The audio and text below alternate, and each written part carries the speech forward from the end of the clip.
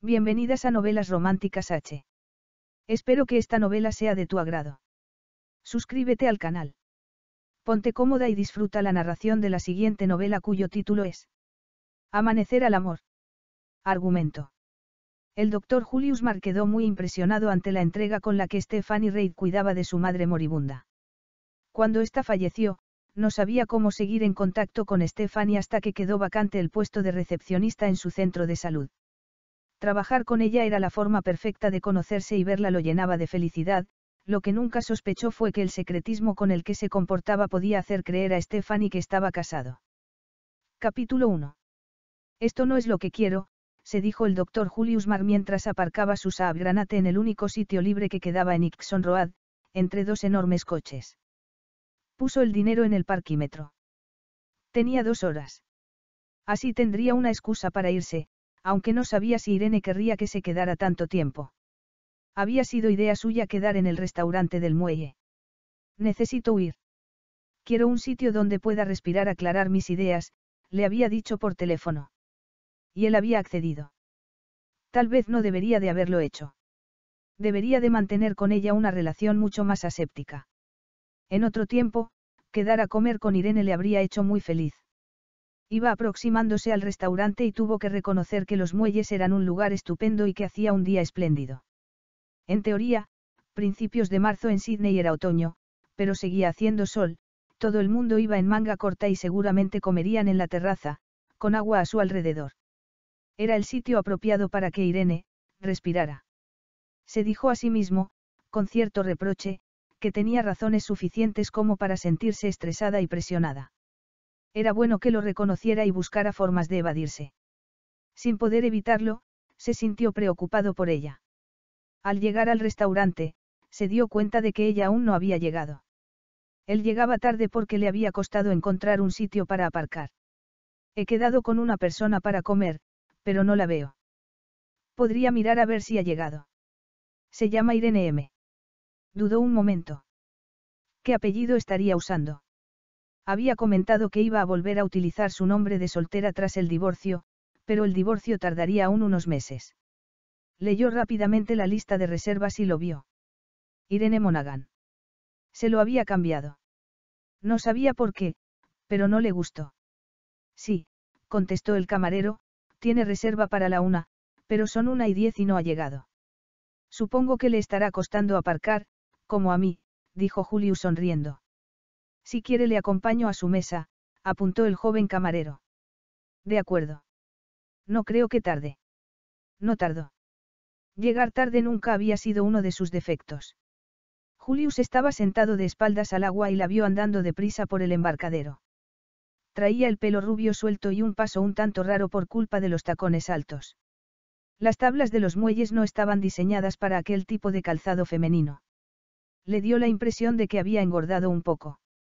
Creyó recordar que llevaban desde finales de enero sin verse. Casi cinco semanas, aunque habían hablado por teléfono y habían estado en contacto a través de los mensajes de correo electrónico. Lo siento, dijo Irene sin aliento dejando un maletín sobre la mesa. Pareció dudar un momento, se acercó y le dio un suave beso en la boca. Aquello tomó a Julius por sorpresa, que se limitó a responder torpemente y a parpadear cuando ella se echó hacia atrás y se sentó. La vio sonrojarse. Julius sacó las gafas de lectura y aprovechó para estudiarla. Sí, definitivamente parecía nerviosa, insegura e incluso un poco desafiante. Bueno, tenemos que hacer un montón de cosas, dijo Irene hablando apresuradamente. Así que vamos a organizarnos, de acuerdo. Una comida y dos cafés más tarde seguían allí y Julius se dio cuenta de que, si no hacía algo en cinco minutos, le iban a poner una multa. Se disponía a decírselo a Irene cuando ésta llamó al camarero y pidió otra copa de vino blanco. No era el momento. Pasó revista a lo que tenía que hacer el resto del día. Había dejado la tarde libre adrede, pero esperaba tener tiempo para poner un poco de orden en la oficina y visitar a Rondaley, que tenía cáncer de próstata, a Sally Kitchen, que había tenido trillizos, y a Stephanie Reid, que había perdido a su madre de un cáncer de intestino hacía dos meses. Sin embargo, parecía que Irene quería hablar.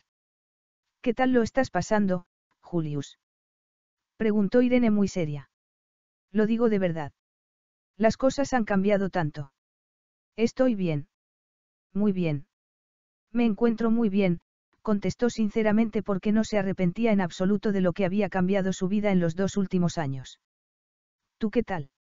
Irene le contó, sin parar de beber vino, y Julius la escuchó con preocupación. Ya había oído aquello varias veces. Lo que no sabía era si ella esperaba que solo escuchara o que hiciera algo. No había nada que él pudiera hacer. Era cuestión de tiempo y de valor. Cuando Irene hubo terminado y él hubo dado lo que esperó fueran las contestaciones correctas, se hizo el silencio y Julius pensó de nuevo en la multa. ¿Pido la cuenta? Preguntó. Irene asintió y se volvió a hacer el silencio. ¿Qué tal están los niños? Preguntó Julius pensando que tal vez debería de haberlo preguntado al principio. Pasó otra media hora hasta que abandonaron el restaurante. Cuarenta metros antes de llegar al coche, vio la multa en el limpiaparabrisas se alegró de que Irene y él hubieran tomado caminos separados. Ella había tomado un taxi en dirección a Chatswood y no había motivo para que supiera que sus penas le habían costado una buena multa. En realidad, no se arrepentía de las tres horas que habían pasado comiendo. Había pasado más de 14 años viviendo con ella. En comparación, no era mucho tiempo. No podía defraudarla. Debía elegir. No sabía si organizar todos aquellos papeles de la oficina o ir a visitar a sus tres pacientes. Cinco años antes, no habría dudado. Los papeles. Sin embargo, las cosas habían cambiado y eligió los pacientes. Es afta, le dijo Julius a Sally Kitchen. Voy a ver a los otros dos. James es el único que no quiere comer. Julius tomó al pequeño Nicolás y le miró la boca. Tenía las mismas placas en lengua y carrillos. Aunque Amelia estaba dormida, se las arregló para abrirle la boca y mirarla. No es nada. Le voy a recetar una pomada. Sally tenía 27 años y era madre primeriza. Además, su marido estaba trabajando lejos, pero ella había querido tener a los trillizos porque llevaba un año en tratamiento para quedarse embarazada. Su madre se ha ido ya, no. Sí, esta mañana. No se podía quedar más. Tenía tres semanas de vacaciones. Esto es muy duro. Muy duro. Y todavía falta un mes para que Michael vuelva de Nueva Zelanda, dijo haciendo un esfuerzo por sonreír, pero sin poder evitar que le cayeran las lágrimas por las mejillas. Se la secó con la manga y sonrió valiente. Quiere que le asciendan cuanto antes, así que tuvo que ir. Bueno, no había más remedio. Yo no puedo trabajar y necesitamos el dinero, pero le echo de menos. Sé que es duro. Lo sería aunque él estuviera aquí. Lo sé, concedió Sally. ¿Quiere que venga una enfermera a echarle una mano? Preguntó Julius tendiéndole un folleto explicativo. Tienen trucos para apañárselas con varios bebés, para dormirlos y ese tipo de cosas. Además, te pueden informar sobre grupos de apoyo y otros servicios. Grupos de apoyo. Pero si no puedo salir de casa, se rió. No, mis amigas se turnan para venir un par de horas todos los días. ¿Y es suficiente? No. Claro que no. Lo siento. Soy una desagradecida. No conseguíamos tener hijos y tener tres es como un milagro. Es un milagro. Les quiero mucho, pero estoy exhausta. Con el tiempo, se irá haciendo más fácil. Llame al servicio de enfermeras. No se canse demasiado. Olvídese de recoger el baño y esas cosas porque no está completamente recuperada del parto. Gracias, doctor Marre. Le agradezco mucho que haya venido. ¿Quiere una taza de té o algo? No, gracias. Había tenido que decir que no a la invitación de Rondaley también porque ya eran las cinco y media y no iba a llegar a ver a Stephanie Reid. Podría haberlo dejado para otro día, pero no quiso porque faltaba una recepcionista en la clínica y eso significaba retrasos en las citas. No quería que Stephanie tuviera que esperar. Además, Stephanie vivía muy cerca de Sally. Al mirar en el callejero, se dio cuenta de que vivía en la calle de al lado y de que la valla de su jardín debía de estar casi pegada a la de Sally. Intentó recordar el día exacto del funeral de su madre. Había sido un viernes. A mediados de enero, creía. Aquel día era viernes, también, 5 de marzo. Hacía siete semanas. En aquella ocasión, Stevie había cantado en la iglesia una preciosa canción que ella había compuesto. Sabía que aquella pequeña pelirroja cantaba, pero no sabía que lo hiciera tan bien. La conocía hacía más o menos un año y la había visto pasar por diferentes estados de ánimo. La había visto reír, tener miedo, sentirse frustrada, llorar. Se preguntó cómo estaría. No se le había ocurrido que, a lo mejor, no estaba en casa. Dejó sonar el timbre varias veces y, al no recibir respuesta, sintió una decepción absurda. Recordaba la casa de los Reid como un lugar tranquilo y acogedor, pero se iba a quedar sin el té y sin la compañía de Stephanie. Vaya, me debo de estar haciendo viejo. Solo tengo 42 años y no puedo dejar que esto me arruine el día. Lo intentó, pero no podía evitar sentir como un peso en el estómago y era decepción. Se dio la vuelta y se dirigió al coche. Estevi estaba en el jardín de atrás recogiendo rosas cuando oyó el timbre. Con las flores aún en el brazo, abrió, pero no había nadie. Vio una silueta familiar. Era un hombre alto y bien vestido que se alejaba por el camino. De espaldas, no le reconocía, pero seguro que había sido él el que había llamado a la puerta. Perdone, le llamó. Al darse la vuelta, lo reconoció. Doctor Marr. Así que está en casa, dijo avanzando hacia ella en un tono un poco acusador. Estaba en el jardín de atrás cortando unas rosas. Llevaba mucho rato llamando. No mucho, contestó un poco malhumorado. Había algo que le había molestado. Estevi pensó que los médicos debían de estar tan ocupados que no podían esperar ni un minuto a que les abrieran la puerta, pero no podía reprocharle nada después de lo bien que se había portado durante todo el año. Recordó que nunca se saltó ni una sola visita de su madre y que llamaba inesperadamente para decirle que había leído algo sobre el tema. Estevi se había dado cuenta de que no solo se preocupaba por su madre. También por ella. En las dos espantosas semanas que siguieron al diagnóstico de cáncer terminal, se había portado tan bien, que, si era así con todo el mundo, sí, su tiempo era oro. Pase, le invitó. Lo miró y pensó que aquel hombre inspiraba confianza inmediatamente. Era alto, de pelo oscuro, dispuesto, inteligente, cuidadosamente vestido, con una camisa impecable de color tostado y unos pantalones a juego en un tono un poco más oscuro. Su madre había remarcado más de una vez lo elegante que iba y a Stevie le había gustado que, en su estado, encontrara fuerzas para fijarse en ese tipo de cosas. Parecía estúpido sentirse agradecida hacia el médico porque fuera bien vestido, pero así era. ¿Quiere un té o un café o algo? Al verle que fruncía el ceño y miraba el reloj, Stevie se preguntó si habría ido más allá de los límites establecidos. No sabía por qué lo había dicho. Algo había cambiado. Supongo que no tendrá tiempo, estará muy ocupado. No, ya he terminado. Me vendrá bien beber algo. Voy a poner las rosas, primero, dijo Stevie yendo hacia la casa. Son preciosas. Mamá se ocupaba de ellas. Bueno, de todo el jardín, en realidad. Yo me limitaba a seguir sus indicaciones. No creo que a mí se me den igual de bien. Entraron en la casa y Julius la siguió hasta la cocina, todavía iluminada por el sol. Estevi se sintió estúpidamente nerviosa y se dio cuenta de que era porque el doctor no había ido a ver a su madre. El tema de su salud ya no tenía razón de ser. Ella ya no estaba para llevar las riendas de la conversación. Como si hubiera sido nuestra Celestina. Qué absurdo, pensó. Estevi estaba estupenda de salud. Se hacía un chequeo anual, pero nunca estaba enferma. No había sido nunca paciente de Julius Marr. Agarró un jarrón para terminar cuanto antes.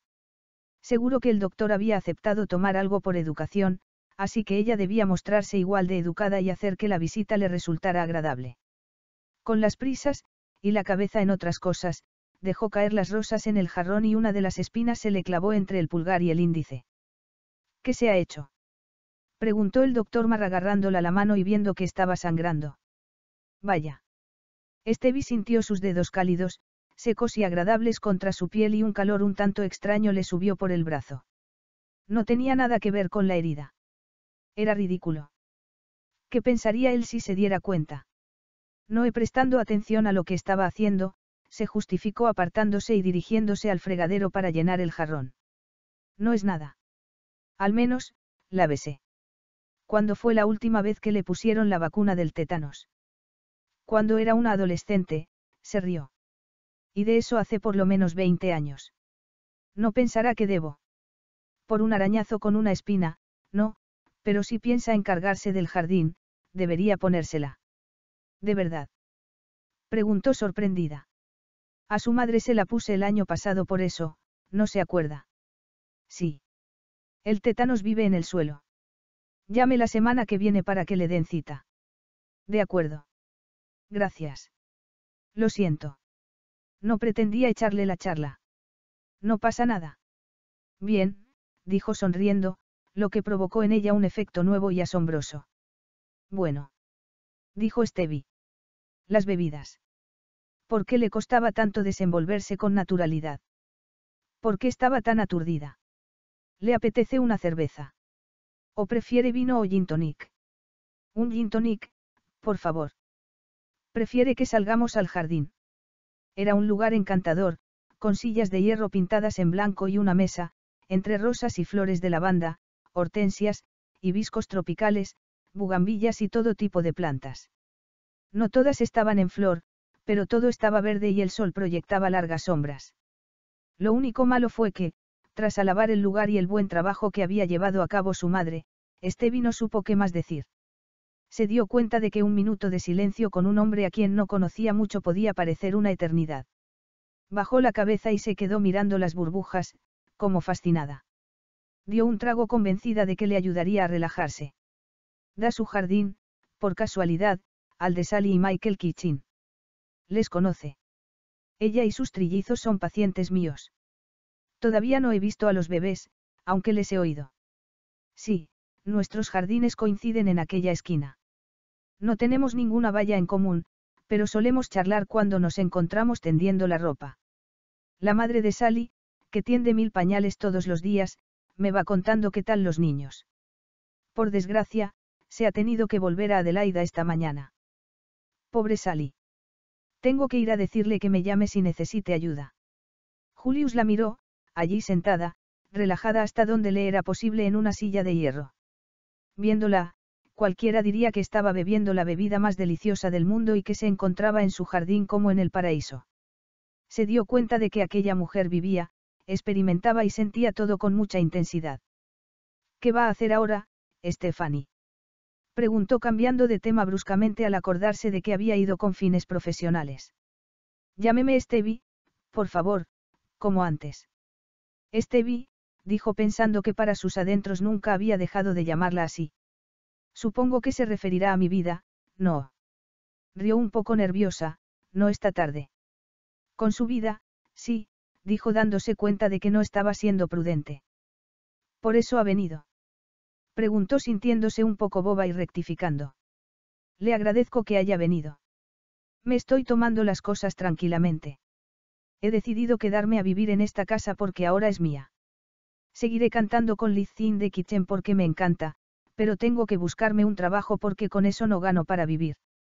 La pensión de papá se acabó cuando murió mamá y mi abogado dice que bueno, no creo que le interese mi situación económica, dijo pensando, ¿qué me pasa? Estoy balbuceando. ¿Qué tipo de trabajo? Mi currículum no es nada del otro mundo. Hice un año de enfermería, pero eso fue hace 15 años y lo dejé por motivos personales. Entonces, a mamá le diagnosticaron la esclerosis múltiple y decidí trabajar de secretaria porque el horario era más flexible y podía ocuparme de ella. Cuando se puso peor, comencé a trabajar media jornada de voluntaria atendiendo el teléfono, tomando citas y recaudando fondos para una asociación benéfica. Hace como cinco años que dejé de trabajar. Espero no haberlo perdido todo.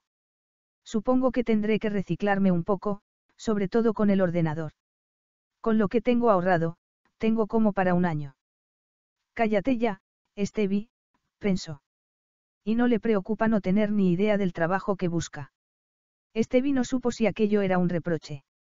A mí no me importa lo que hago sino cómo lo hago. Lo de cantar y componer con el grupo me da mucha satisfacción, así que no necesito buscarla en el trabajo. Me gustaría un trabajo movido y con gente. No me importa el trabajo duro, puedo soportar el estrés, creo, y la rutina, también. Si no me callo ya, va a parecer que estoy en una entrevista de trabajo. No creo que tenga problemas. Alguien como, usted, adulta, estable, bien educada, con cultura, entusiasta. Se interrumpió. A la agencia de empleo Julius Mar le encantará buscarle un trabajo. ¿Qué comisión tiene? Contestó Stevie riéndose. El 15% de lo que gane durante toda su vida y un contrato de seis meses que solo yo podré renovar. Creo que voy a mirar en otros sitios porque me da que me van a ofrecer algo mejor, le siguió la broma. MMM quizás por eso no tenga clientes. Stevie volvió a reírse. Se dio cuenta de que se lo estaba pasando bien y de que se había relajado. Lo miró como si lo acabara de ver por primera vez aquel día. Nunca se había dado cuenta de que fuera tan, tan no era guapo, pero tenía muy buena presencia.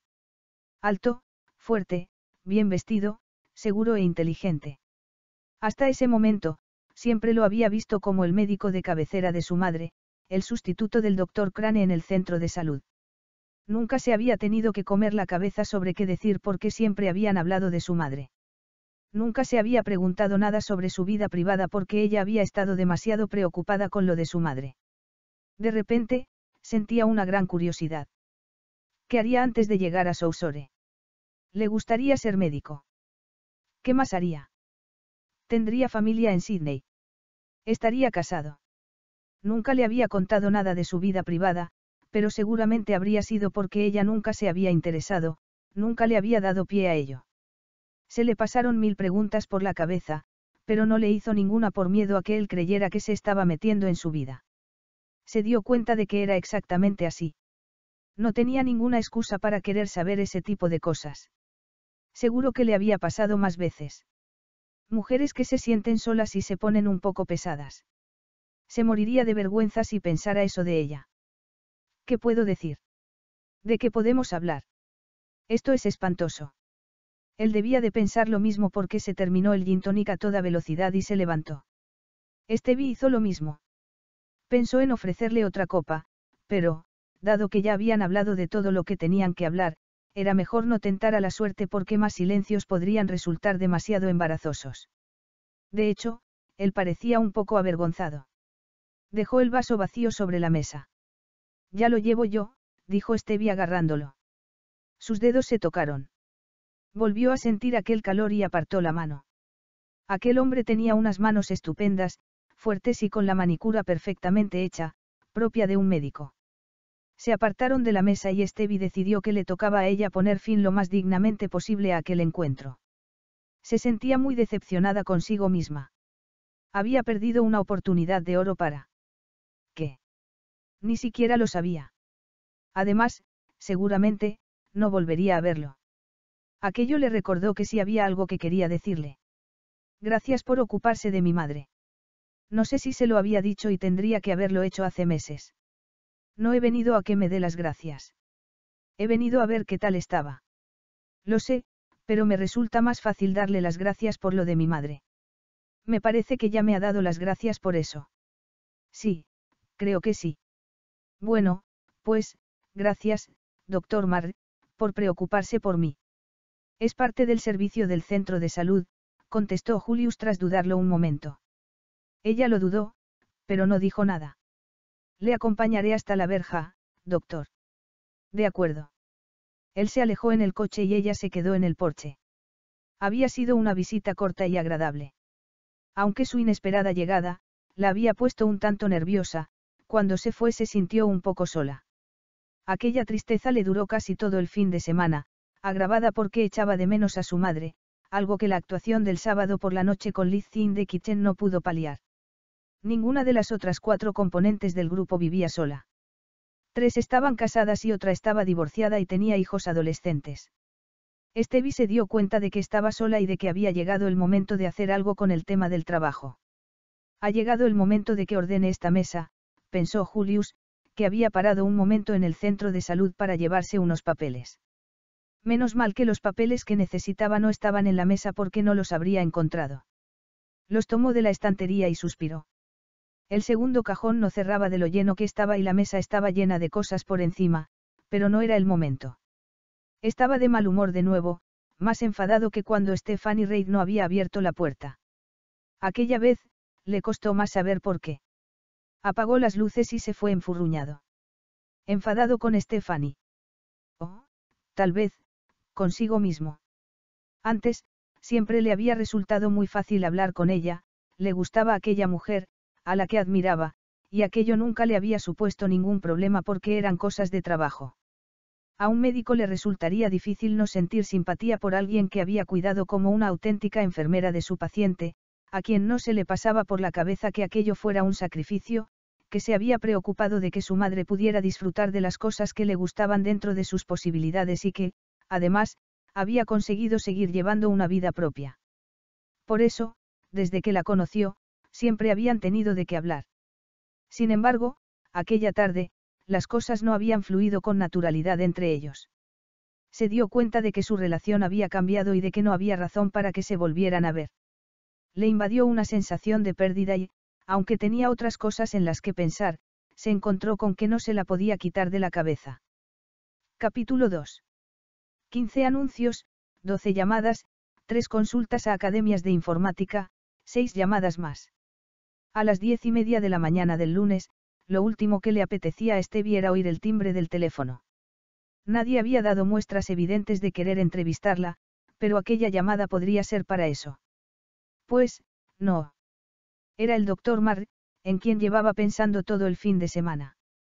No he tenido tiempo de llamar para pedir hora, doctor, lo siento, dijo sin pararse a pensar que no la llamaría para algo tan trivial. ¿Qué? Ah, sí. Pues que no se le olvide, pero no llamaba por eso. Llamaba porque he pensado que debería usted venir al centro a que le hicieran una entrevista porque hay una vacante de recepcionista. Estevi se puso de los nervios y apenas se enteró de la descripción sobre el puesto que el doctor Marle estaba haciendo. Estaba distraída pensando en que no tenía ropa que ponerse para la entrevista. Podría venir hoy por la mañana. Hemos estado haciendo entrevistas y, la verdad, ninguno de los candidatos nos ha convencido. Los dos que más nos han gustado no podían empezar hasta dentro de varias semanas. He estado pensando en usted todo el fin de semana y reprochándome cómo no se me ocurrió el viernes. Iré enseguida, contestó olvidándose del tema de la ropa. De repente, sintió la imperiosa necesidad de que aquel trabajo fuera suyo. Esperamos terminar las entrevistas para la hora de comer y vamos a hacer un descanso a las doce menos cuarto. Estaré allí a esa hora, prometió colgando el teléfono. Realmente no tenía nada que ponerse. El traje gris que había llevado en el funeral de su madre le traía malos recuerdos. La ropa que se ponía para actuar era bonita y estaba nueva, pero no era la apropiada para una entrevista de trabajo. Tenía dos vestidos sencillos de seda. Uno verde oscuro y el otro negro, que se había puesto alguna vez que había salido por la noche, pero los hombros al descubierto tampoco eran apropiados. A las once y cuarto, tras rescatar desesperadamente las referencias de sus trabajos anteriores, los certificados de máquina y las notas del año de enfermería, salió por la puerta todavía en pantalones cortos y camiseta, con los zapatos negros de tacón en el bolso. Había una tienda de ropa cerca del centro, donde se compró un traje y se cambió las zapatillas de deporte por los zapatos en la puerta del centro a las 11 y 44 minutos. La entrevista fue bien.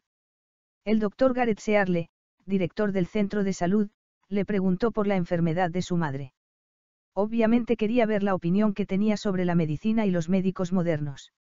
Rose Reynolds, la encargada de administración, quiso saber la experiencia que tenía en oficina y le preguntó si le importaría tener un horario flexible a veces, cuando había seminarios por la tarde o por las noches. Estevi declaró que no le importaba tener un horario flexible y no mintió sobre lo que no sabía hacer. El doctor Mar no dijo mucho, se limitó a escuchar y a sentir. Estevi había sido la última entrevistada, así que todo el mundo se levantó y salió de la habitación. Cuando se disponía a salir ella también, Ross Reynolds la agarró del brazo. Lleva una etiqueta colgando de la falda. Oh, no. Tranquila, no creo que los médicos se hayan dado cuenta. Venga, vamos a tomar prestadas las tijeras que el doctor Mar tiene en su mesa. Vaya, a ver si la organiza un poco. Déjeme que se la corte. Sí. Esto es lo que pasa por comprarme un traje en un cuarto de hora. Lo ha comprado esta mañana, después de que la llamara el doctor Marr. Preguntó aquella mujer de unos 50 años perfectamente arreglada. Sí, puede parecer una locura, pero... No, no, nada de locura. Si organiza así de bien su tiempo, cuente con mi voto, aunque la última palabra la tienen los médicos. Gracias, rió Stevie.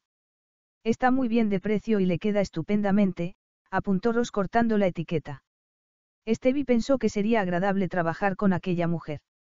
Se encontró con el doctor Searle en el pasillo. Veo que se ha quitado la etiqueta de la falda, dijo el médico. No se preocupe, no creo que los demás se hayan dado cuenta, dijo con voz fraternal. Aquel hombre también le cayó bien. No volvió a ver al doctor Mar aquella mañana. Rellenó unos cuantos formularios con Ross y abandonó el centro después de que le hubieran dicho que la llamarían. El doctor Mar llamó a las seis de la tarde. El puesto es suyo. ¿Le importaría empezar esta semana? ¿Qué tal el miércoles? Dijo pensando en que el martes lo dedicaría a comprarse ropa. Bien. Una cosa, le aconsejo que corte la etiqueta del traje que llevaba esta mañana, muy bonito, por cierto. No creo que los demás se dieran cuenta. Solo se veía cuando estaba sentada, pero pensé que le gustaría saberlo. Gracias, doctor Mar, contestó Stevie apagadamente. Tras colgar, Julius se preguntó si habría hecho lo correcto. Obviamente, la había avergonzado, pero tampoco habría sido justo no haberle dicho nada y dejar que fuera con la etiqueta colgando. Había querido charlar un poco con ella tras la entrevista, pero tenía una importante llamada esperándole y no había podido.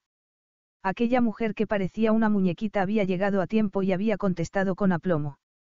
No creyó que le gustara saber que la comparaba con una muñeca porque ella no tenía nada de pasiva ni de inútil.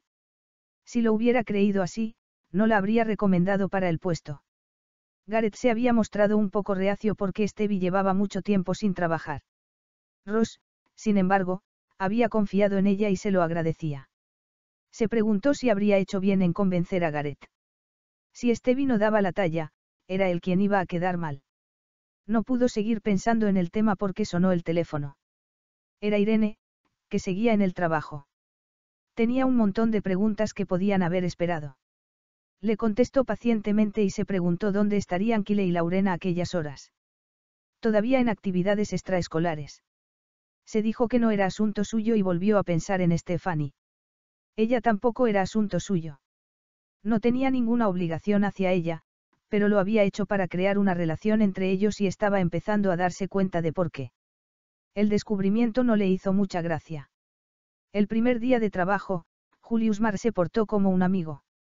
Estevi iba perfectamente vestida, con sus medias claras y sus zapatos bajos. Por supuesto, se había asegurado de quitar todo tipo de etiquetas. Estevi nunca había trabajado en un centro médico y tenía que aprender y recordar muchas cosas. El archivo de los pacientes ocupaba una habitación entera, la centralita tenía 15 líneas, el ordenador no obedecía si no se le daban las órdenes correctas al pie de la letra. Ross Reynolds se mostró muy paciente. Catijón, que estaba en la recepción, la sacó de apuros unas cuantas veces e incluso los pacientes se mostraron muy comprensivos. A la hora de comer, Stevie tenía tal dolor de cabeza que tuvo que pararse a pensar si la Q iba antes de la R o al revés. En ese momento, el doctor Mar salió de su despacho y la invitó a comer. Parece que tiene lío, dijo Julius mientras cruzaban el vestíbulo. La verdad es que sí. Estaba lloviendo, caía uno de esos chaparrones que en cinco minutos dejaban la calle empapada. Sin embargo, no hacía frío. Eso es porque es el primer día. Entraron en un pequeño café y fueron hacia una de las mesas del fondo. El doctor Mar pidió un vaso de agua y a Stevie no le dio tiempo de pedir uno para ella. En menos de un minuto, allí estaba el vaso de agua y el doctor sacó una pastilla. Tome, para su dolor de cabeza. ¿Cómo lo sabe? Lo lleva escrito en la frente con letras rojas. Vaya. Dijo tomándose la pastilla sin protestar. Por favor, no pida solo un sándwich de jamón para comer. Es lo que iba a pedir. Tal vez usted me prescriba otra cosa. Quiche y ensalada. De postre, tarta helada y luego una gran taza de té. Bueno, eso suena muy bien. Ya me encuentro mejor. Él pidió lasaña y ensalada. ¿Por qué me han dado el trabajo, doctor Marr? ¿Por qué le daba pena? Preguntó Stevie cuando le sirvieron la comida. ¿Por qué iba a darme usted pena? Preguntó con los ojos como platos. Bueno, porque era obvio que no me iba a ser fácil encontrar un trabajo. No lo dirá en serio. Nosotros nos apresuramos a contratarla antes de que otros se nos adelantaran. No creo que sea un buen fichaje. Sobre todo, después de lo de esta mañana. Tonterías. Usted es perfecta en todos los aspectos. Para empezar, usted tiene más cultura que las demás. Hace unos meses vino una veinteañera encantadora que no sabía deletrear ninguna palabra que fuera más larga que gato y ni ella misma podía leer su letra. Usted tampoco parece de esas que se larga de viaje con un novio impresentable, como la última candidata. Ah, no. Preguntó indignada. No. Insistió Julius. Usted, al menos, avisaría. Estevi se rió. Además, usted tiene años de experiencia cuidando a un ser querido que padecía una enfermedad difícil y crónica, así que sabe exactamente cómo se sienten los que están al otro lado del mostrador. Pero se me da fatal el teléfono, el ordenador, el archivo. Estevi, usted es una mujer inteligente. Se hará con el archivo y el ordenador en una semana. Aprender empatía, sentido común y seriedad lleva mucho más tiempo. Ya veo lo que quiere decir. Bien. Esto tiene muy buena pinta, dijo Stevie sintiéndose mucho más segura de sí misma. Será mejor que empecemos a comer. Stevie le observó disimuladamente. Se fijó en los detalles de su cara. No era un hombre que le pareciera guapo a la gente. Tenía la cara larga, la boca grande y la mandíbula cuadrada. Sin embargo, tenía unos ojos impresionantes. Eran grises, de un gris oscuro. Enmarcados por largas pestañas. ¿Tiene actuaciones este fin de semana? Preguntó Julius. No, pero tenemos ensayo el viernes por la noche. ¿Usted qué toca? ¿O solo canta? Solo canto. De vez en cuando, me toca darle al bongo o hacer sonar unas campanillas, pero eso es todo. Bongos y campanillas en un grupo de música country. Nos gusta ser originales, contestó riéndose. Conversaron durante media hora. Fuera seguía lloviendo. El quiche y la ensalada estaban deliciosos y la tarta y el té eran caseros. Estevi se sentía tan a gusto que ni se dio cuenta de que había desaparecido el dolor de cabeza. Cuando Julius pidió la cuenta, Estevi tuvo la misma sensación que si la obligaran a salir de la cama calentita, pero, al menos, pensar en la tarde que le quedaba por delante no se le hacía tan duro como antes de comer y había sido gracias a su compañía. Al cruzar la calle, Estevi se dio cuenta de que Julius era mucho más alto que ella. Le tapaba el viento. Era una sensación muy agradable tenerlo cerca. Cuidado. Tiene un charco tan grande como una piscina delante, advirtió Julius. Aunque en aquel momento no lo sabía, con el tiempo se daría cuenta de que fue entonces cuando empezó a enamorarse de él. La tarde fue mucho mejor que la mañana. No volvió a tener dolor de cabeza, el alfabeto se mantuvo en orden, solo interrumpió a una persona en el teléfono e incluso el ordenador obedeció más. A las cinco y media, fue realmente de ayuda. El centro estaba hasta arriba de gente. Había muchos escolares con sus padres y los tres médicos que pasaban consulta, incluido el doctor Mar, no daban abasto. No era el mejor momento para que llegara un paciente sin cita, pero Stan Truesdale no pensó en ello. Quiero ver a un médico. Tengo problemas con las vías urinarias, dijo con voz temblorosa y quejumbrosa. Dos niños le miraron y se rieron, pero el señor Truesdale no se dio cuenta. ¿Tiene cita? No. ¿Ha venido antes? No. En otro momento, habría dado igual. El centro aceptaba todo tipo de pacientes, con o sin cita, pero a última hora de un día tan ocupado. Lo verá en cuanto pueda. No podría ser ahora. Preguntó el anciano. Me temo que no, contestó pacientemente Stevie. Prefiere que lo vea un doctor, ¿verdad? Preguntó dándose cuenta de que aquel hombre iba mal vestido, estaba muy delgado y olía mal. ¿No será una doctora? Preguntó horrorizado. Tenemos cinco médicos. Tres de ellos son hombres. Si quiere que le vea un doctor, tendrá que esperar más, puntualizó Stevie pensando que dos de los tres que estaban aquella tarde eran mujeres. No quiero esperar. Quiero que me vean inmediatamente. Entonces, deme su tarjeta sanitaria y rellene este formulario, por favor. También necesitamos una muestra, dijo tendiéndole un botecito. El hombre se sentó muy satisfecho creyendo que lo verían enseguida, pero Stevie tenía la intención de que esperara su turno y así se lo hizo saber a Ross. Has hecho bien. No debes colar a nadie. Si realmente es una urgencia, deben ir al hospital. El señor Truesdale terminó de rellenar el formulario. Lo dejó en el mostrador y se quedó de pie mirándola, impaciente. Estevi echó un vistazo al papel. Parecía completo, pero no servía de nada porque aquel hombre lo había rellenado de cualquier manera. Incluso había puesto un no en la casilla correspondiente a problemas urinarios. El doctor Mar era el que menos pacientes tenía, así que decidió meterlo en su consulta. Le recordó que necesitaban una muestra. No lo había dicho el doctor, pero a ella le pareció lo más correcto. Indicó al paciente un baño al final del pasillo. El hombre resopló y se dirigió hacia allí. Estevi miró su fecha de nacimiento. 10 de marzo de 1933. Parecía mayor. Estevi se dio cuenta de que aquel día era 10 de marzo. O era su cumpleaños o aquel hombre estaba muy confundido. Pobrecillo. Mientras tanto, llegaron dos pacientes más. Estevi pasó las tarjetas y colocó la ficha de otro paciente en su sitio. Llegó el señor Truesdale con el bote vacío. No puedo. Parece que sí, pero no puedo. Supongo que, entonces, no merece la pena que me vea hoy. Vendré en otro momento. No me van a cobrar por esto, ¿verdad? No le vamos a cobrar por nada, señor Truesdale, pero... Perdón, mi hija va a vomitar. ¿Dónde hay un baño? Preguntó una madre nerviosa. Ve la puerta de allí. Demasiado tarde. Cuando terminó de recogerlo, el señor Truesdale se había ido.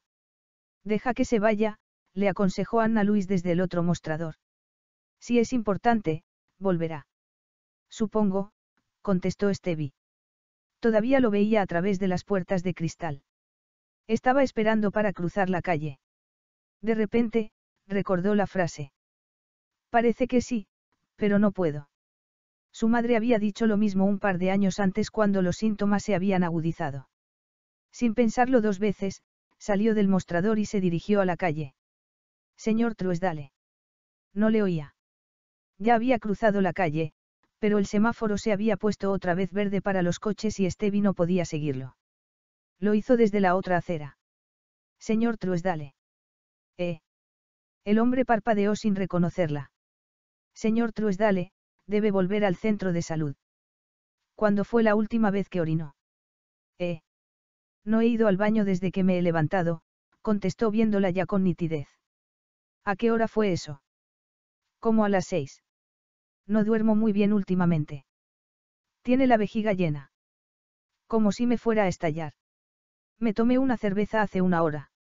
Debe volver inmediatamente. Retención urinaria aguda. Estevi sabía que, si no se lo trataban, podía ser mortal, podía provocar un fallo en los riñones. El señor Truesdale la acompañó un poco renuente. Al entrar, Estevi vio que el doctor Marriba llamar al siguiente paciente y se acercó. Por favor, creo que debería ver a este hombre. ¿Qué ocurre? No puede orinar. A mi madre le pasó lo mismo hace dos años. Sé que puede ser peligroso. Sí, mucho. Bien, caballero, pase por aquí. A las seis, apareció el señor Truesdale con unos cuantos folletos y se dirigió al mostrador. Vengo a pedir cita. Estevi le ayudó a elegir hora y día. La sala de espera ya estaba casi vacía. Los miércoles solo había consultas hasta las seis menos diez. Los martes y jueves, sin embargo, había que quedarse hasta las nueve o nueve y media. Mientras Ross le indicaba cómo se recogía la oficina, ella estaba concentrada en ver al doctor Mar salir de su consulta. Se había mostrado tan comprensivo durante la comida. Además, sabía que se había ganado su confianza por lo del señor Truesdale. Todavía no se había dado cuenta de que esas ganas de verlo podían ser peligrosas. Debía de haberse dado cuenta, sin embargo, cuando Ross le dijo que se podía ir y se encontró con que no tenía ninguna prisa. Fue a la cocina a tomarse un vaso de agua para hacer tiempo. Seguía sin salir y Stevie pensó que no necesitaba que le diera una palmadita en la espalda y le dijera lo bien que lo había hecho. Se despidió de todo el mundo y se dirigió a su coche. Entonces, se dio cuenta de que Julius iba detrás. Se pondrá bien. ¿Eh? El señor Truesdale. Sí, no es grave, le contestó impaciente. Habrá que hacerle un seguimiento porque, de lo contrario, podría terminar con cáncer de próstata, como otro de mis pacientes. ¿Y si el problema? Como si no la hubiera oído, el doctor Mar se dirigió hacia su coche. Hasta mañana, Stevie. Se metió en el coche y, en un abrir y cerrar de ojos, había arrojado el maletín en el asiento de atrás, se había puesto el cinturón, había encendido el motor, había abierto la ventana y estaba hablando por teléfono. Irene. Hola, soy yo, voy para allá. Eso fue lo que oyó cuando pasó por delante sin prestarle la más mínima atención. Por si fuera poco, al pasar a su lado, pisó un charco y Stevie tuvo que dar un brinco para que no le salpicara. Tampoco se dio cuenta de eso. Stevie no daba crédito. Aquel hombre era un inconsiderado. El aparcamiento no era tan pequeño. Podía haber esquivado el charco. Se había mostrado tan inconsiderado que Stevie se preguntó si lo de la comida no habría sido más que una farsa. Eso no tiene sentido. Sacó las llaves del coche, se montó y se fue, enfadada y confundida. Julius estaba en mitad de un atasco intentando poner las ideas en claro. ¿Los niños están contigo? Preguntó. Muy bien, sí, me los llevaré a tomar una pizza, si así tú puedes. Aceleró cuando el semáforo se puso en verde, pero tuvo que frenar porque otro coche se cambió bruscamente de carril justo delante de él. Mira, mejor hablamos cuando llegue. No me gusta hablar mientras conduzco. Es ilegal y, además, hay un tráfico espantoso. Muy bien, hasta luego. Julius colgó y pensó que llevar a un niño de ocho años y a una niña de diez a tomar pizza podía estar bien. En ese momento recordó que estaba hablando con Stevie Reid en el aparcamiento. Recordó que le había preguntado por el señor Truesdale y que él le había contestado. No recordaba si se había despedido de ella, sacudió la cabeza con la esperanza de que desaparecieran las contracturas que tenía en los trapecios. Tendría suerte si conseguía llegar a casa antes de medianoche. Era su cumpleaños. Perdón. Dijo Stevie tras el montón de fichas que tenía sobre el mostrador. Allí estaba el doctor Mar impecablemente vestido. No había visto a ningún hombre que tuviera semejante colección de camisas. Están Truesdale. Ayer era su cumpleaños. Así. Vi que había puesto 10 de marzo, pero no sabía si lo había puesto bien o estaba confundido y se había equivocado. Podría haber sido así, pero no. Estaba muy contento porque su hija, que vive en Melbourne, le había mandado una felicitación diciéndole que vendría pronto. Me alegro de que tenga una hija. No parece que se sepa cuidar solo muy bien. No, su mujer murió el año pasado y su médico de toda la vida, también. Por eso nunca había venido aquí y por eso lo dejó hasta el último momento. Bueno, voy a hacer que le metan en el programa de atención a domicilio, para ver si lo cuidan un poco. Me alegro. Otra cosa, dijo cambiando de tema. Tengo que pedirle perdón. Creo que ayer estaba un poco distraído en el aparcamiento. No sé, pero casi me cala, contestó. Menos mal que pedía disculpas. Julius la miró atónito. Me refiero a que estábamos hablando y yo estaba pensando en otra cosa. Claro, bueno, no pasa nada, sonrió y levantó el mentón. Supongo que estaría usted. Dudo. A un millón de kilómetros, cansado. Pero. ¿Cómo que casi la calo? No, nada, insistió Stevie dándose cuenta de que Julius ni se había percatado de lo ocurrido. ¿Qué le rondaría la cabeza que le absorbía de esa manera? Creí que se refería a otra cosa, dijo fingiendo una gran concentración en las fichas que tenía antes y para no darle opción a que insistiera y tener que decirle que iba tan absorto en sus cosas que ni siquiera había visto que ella estaba allí y que había estado a punto de mancharla de arriba abajo. Capítulo 3. Estevi tardó apenas dos semanas en darse cuenta de que Julius Mar le estaba afectando. Se percató porque se puso a escribir canciones. Al ser hija única, se había concentrado en la música toda su vida. Había tocado el piano hasta los 12 años, también aprendió guitarra y había sido miembro del coro del colegio. Incluso había intentado ganarse la vida así. Había sido camarera mientras daba clases de canto, había tocado la guitarra en un bar y había tenido un grupo de heavy metal con una amiga del colegio, Alex, y sus dos hermanos, de pelos largos y pinta de gamberros. Svampting no llegó ni a dar un concierto y los dos hermanos se habían convertido en dos respetables ejecutivos. Con 23 años, Stevie se dio cuenta de que quería hacer algo más con su vida aparte de cantar. Fue entonces cuando decidió hacer enfermería, pero lo dejó cuando conoció a Grant Hall, se enamoraron y se prometieron. Aquello se tradujo en todo un año componiendo canciones en las que la palabra amor aparecía por todas partes y en abandonar los estudios de enfermería. Lo siento, Stephanie, le había dicho Grant, pero no puedes ser enfermera si quieres acompañarme. Es muy probable que me manden al extranjero varios años, probablemente a Hong Kong, y necesito una mujer con conocimientos sociales, no una mujer que sepa hacer que una niña de cuatro años no llore cuando le pongan una inyección. Si de verdad quieres casarte conmigo, debes dejar enfermería y hacer cursos de cocina y protocolo. Estevi, completamente enamorada, accedió a ello. Llegó a cocinar estupendamente, pero se arrepintió de su decisión. Incluso hizo el curso de protocolo, pero, aún así, su compromiso no salió adelante. A su madre le diagnosticaron esclerosis múltiple y, al haber perdido a su padre con 16 años de un ataque al corazón, Stevie se sintió aterrada. No tenía ninguna intención de meter a su madre en una residencia y dejar que la enfermedad la consumiera y así se lo hizo saber a Grant. Ella esperaba que él lo comprendiera, como ella había comprendido sus objetivos profesionales, pero no lo hizo y se vio obligada a escoger. No le costó mucho decidir. Se quedaría cuidando de su madre y le devolvería el anillo de pedida a Grant. Con 31 años trabajaba en una asociación benéfica y cuidaba de su madre, cuando Alex, casada y con un hijo, la llamó para decirle que estaba formando un grupo de música country, que iba a ser todo de mujeres y que quería que Stevie fuera la cantante. Stevie le dijo que no, pero su madre la convenció para que lo hiciera. Aunque solo sea por hacerte los trajes. Le había dicho riéndose. Así nació Liz in the Kitchen y llevaban tocando casi ocho años. El grupo le había venido muy bien, era una vía de expresión, de creatividad y de energía. El conocer a los maridos de las demás le había servido para darse cuenta de que no todos los hombres eran como Grant. Además, le había servido para componer canciones mucho mejores. Hacía ya diez años que no rimaba amor con todo lo que se le ocurría.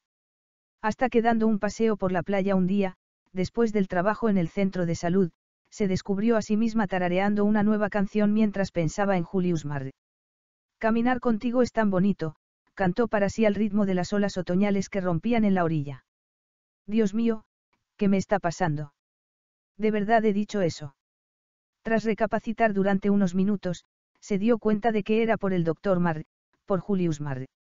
Su nombre le sonó a Gloria y se dio cuenta de que no rimaba con nada. Al principio, le pareció maravilloso que hubiera alguien en su vida a quien, además, veía a diario. Se dio cuenta de que estaba empezando a conocer el repertorio de camisas que tenía, como le gustaba el café, el sonido de su risa y el ruido de sus pasos por los pasillos. No sabía el tiempo que había pasado desde la última vez que se había sentido atraída por un hombre.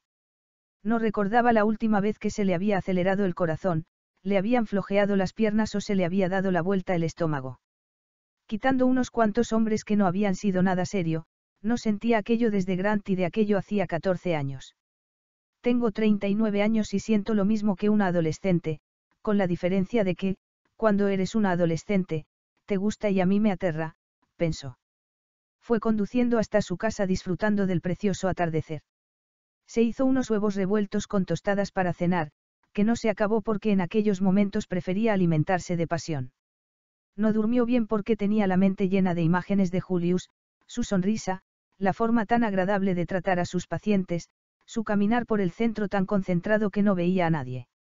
Era preocupante que incluso aquello le gustara porque al resto de los empleados les ponía un poco nerviosos. Doctor Mar, a ver si tiene tiempo para firmarme. Boom. La frase de Ross quedó en el aire ante la puerta que el doctor cerró tras de sí sin darse cuenta. Va de mal en peor. Dijo Ross encogiéndose de hombros. Siempre ha sido así. Quiso saber Stevie, síntoma evidente de su interés. Querer saber todo sobre él. Lleva aquí desde enero. Él entró como tres semanas antes que yo. Siempre ha sido muy amable y no le costó mucho adaptarse al centro. Ya has visto lo bien que trata a los pacientes, bueno, tú lo sabes mejor que nadie. Sin embargo, cuando no está pasando consulta, parece estar muy preocupado. Me pregunto si no tendrá problemas personales. Está casado, no. Preguntó Stevie con el corazón en un puño. Había llegado a mirar a ver si llevaba alianza. No la llevaba, pero aquello no quería decir mucho porque mucha gente casada no la llevaba. Como me diga que está felizmente casado, me da un ataque. Debo de estar perdiendo la cabeza. La canción con la que estuve ayer dos horas, me ha parecido espantosa cuando la he leído esta mañana. Pues la verdad es que no estoy segura. Ya. Él nunca ha dicho nada de que tenga mujer e hijos, pero tampoco es que hable mucho de su vida privada, la verdad. Últimamente, siempre va con el ceño fruncido y, en cuanto termina en el centro, se va a toda velocidad, pero no sé a dónde. Hay una mujer que le suele llamar a menudo. Creo que se llama Irene. Si lo quieres saber, puedo mirar en su ficha a ver qué estado civil pone. No, no me interesa. No es asunto nuestro y si él prefiere no hablar de ello.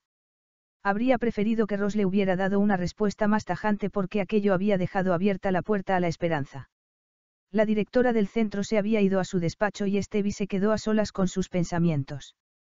Solo había una razón por la que los hombres de la edad de Julius Marr, hombres de éxito profesional, inteligentes y atractivos, estuvieran solteros, porque así lo habían elegido. Tal vez aquella Irene fuera su mujer. Estevi era una mujer con los pies en la tierra y supo de dónde venían aquellos pensamientos. Me encuentro sola. Me olvidé del amor después de la decepción con Grant y durante todos los años que me dediqué a cuidar de mamá, pero ella ya no está y ahora tengo más tiempo para mí. Quiero más, me gustaría conocer a alguien, enamorarme de verdad, casarme. Liz in the Kitchen tenía dos actuaciones programadas para el fin de semana. Una para el sábado por la mañana en el colegio del hijo de Liz y otra el domingo por la tarde en una boda.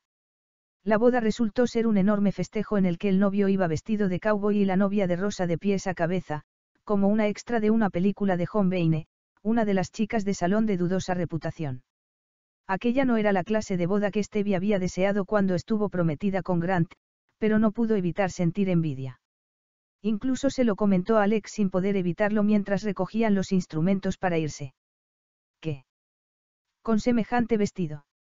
No, con ese vestido, no, pero me quiero casar y me temo que se me ha hecho un poco tarde. Cuando mi madre vivía, ni siquiera pensaba en ello, tampoco conocía a nadie que mereciera la pena, y ahora puede que sea demasiado tarde. Tonterías. Quiero decir que. Tonterías. Hay muchos hombres. Y lo dice la mujer que nunca volvió a mirar a ninguno desde que se cruzó con Nick. Además, tú eres guapa, interesante, independiente económicamente y estás en edad de ser madre. ¿Qué hombres, por ejemplo? Él es marido de Liz, por ejemplo. Pete. ¿Por qué no? Es simpático. Su divorcio fue de mutuo acuerdo y los niños son un encanto. Supongo que será eso. Sus hijos ya están criados, tienen 14 y 17. No creo que yo sirva para hacer de madrastra y dudo mucho que Pete quiera tener más hijos. Además, esto es ridículo. Dijo riéndose. Por otra parte, no lo encuentro atractivo, añadió bajando la voz cuando Liz pasó a su lado. Bueno, si no conoces a nadie, te tendrás que poner manos a la obra. ¿Cómo? Diles a tus amigas que te arreglen. No, gracias. Haz un curso de soldadura oxiacetilénica. Estás de broma. Empieza a llevar la ropa a la lavandería. ¿Por qué? Porque todo el mundo sabe que los solteros van a la lavandería. Además, la ropa interior dice mucho de una persona. Alex. Te lo digo en serio. Si quieres conocer a alguien, no te puedes quedar sentada esperando. Tienes que currártelo. Estevi tuvo que reconocer que tenía razón y tomó una decisión. No iba a pensar más en Julius porque era una locura que no llevaba a ninguna parte. Decidió poner un anuncio. Había una revista que dedicaba dos páginas a anuncios personales y el de Estevi apareció la segunda semana de abril, en pleno otoño, época nostálgica. Su anuncio era breve, mujer de 39 años, inteligente, culta, creativa, sincera y segura busca hombre para amistad o relación. Esperaba que no sonara prepotente, sino sincero.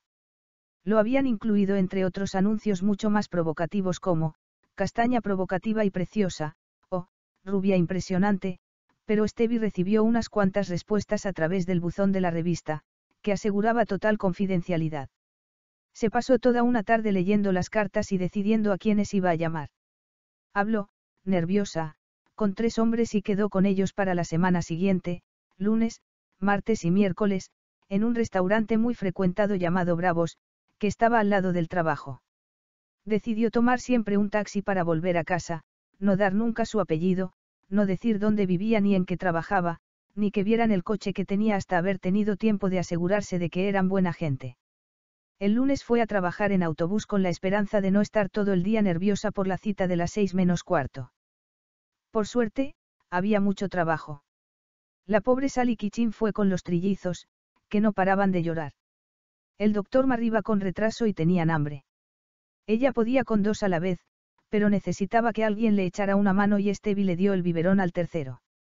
Tras las indicaciones de Sally para que no lo calentara en el microondas y las instrucciones de Julius para que lo hiciera con sumo cuidado, Stevie pudo dar de comer a la pequeña Amelia en un cuarto aparte ante la atenta mirada de su madre. A Stevie le pareció una sensación maravillosa tener a la pequeña en brazos y le hizo dudar sobre su cita. No sabía si era la manera adecuada de conocer a un hombre. No tenía muy claro que un completo extraño pudiera convertirse, en un año o dos, en padre de sus hijos.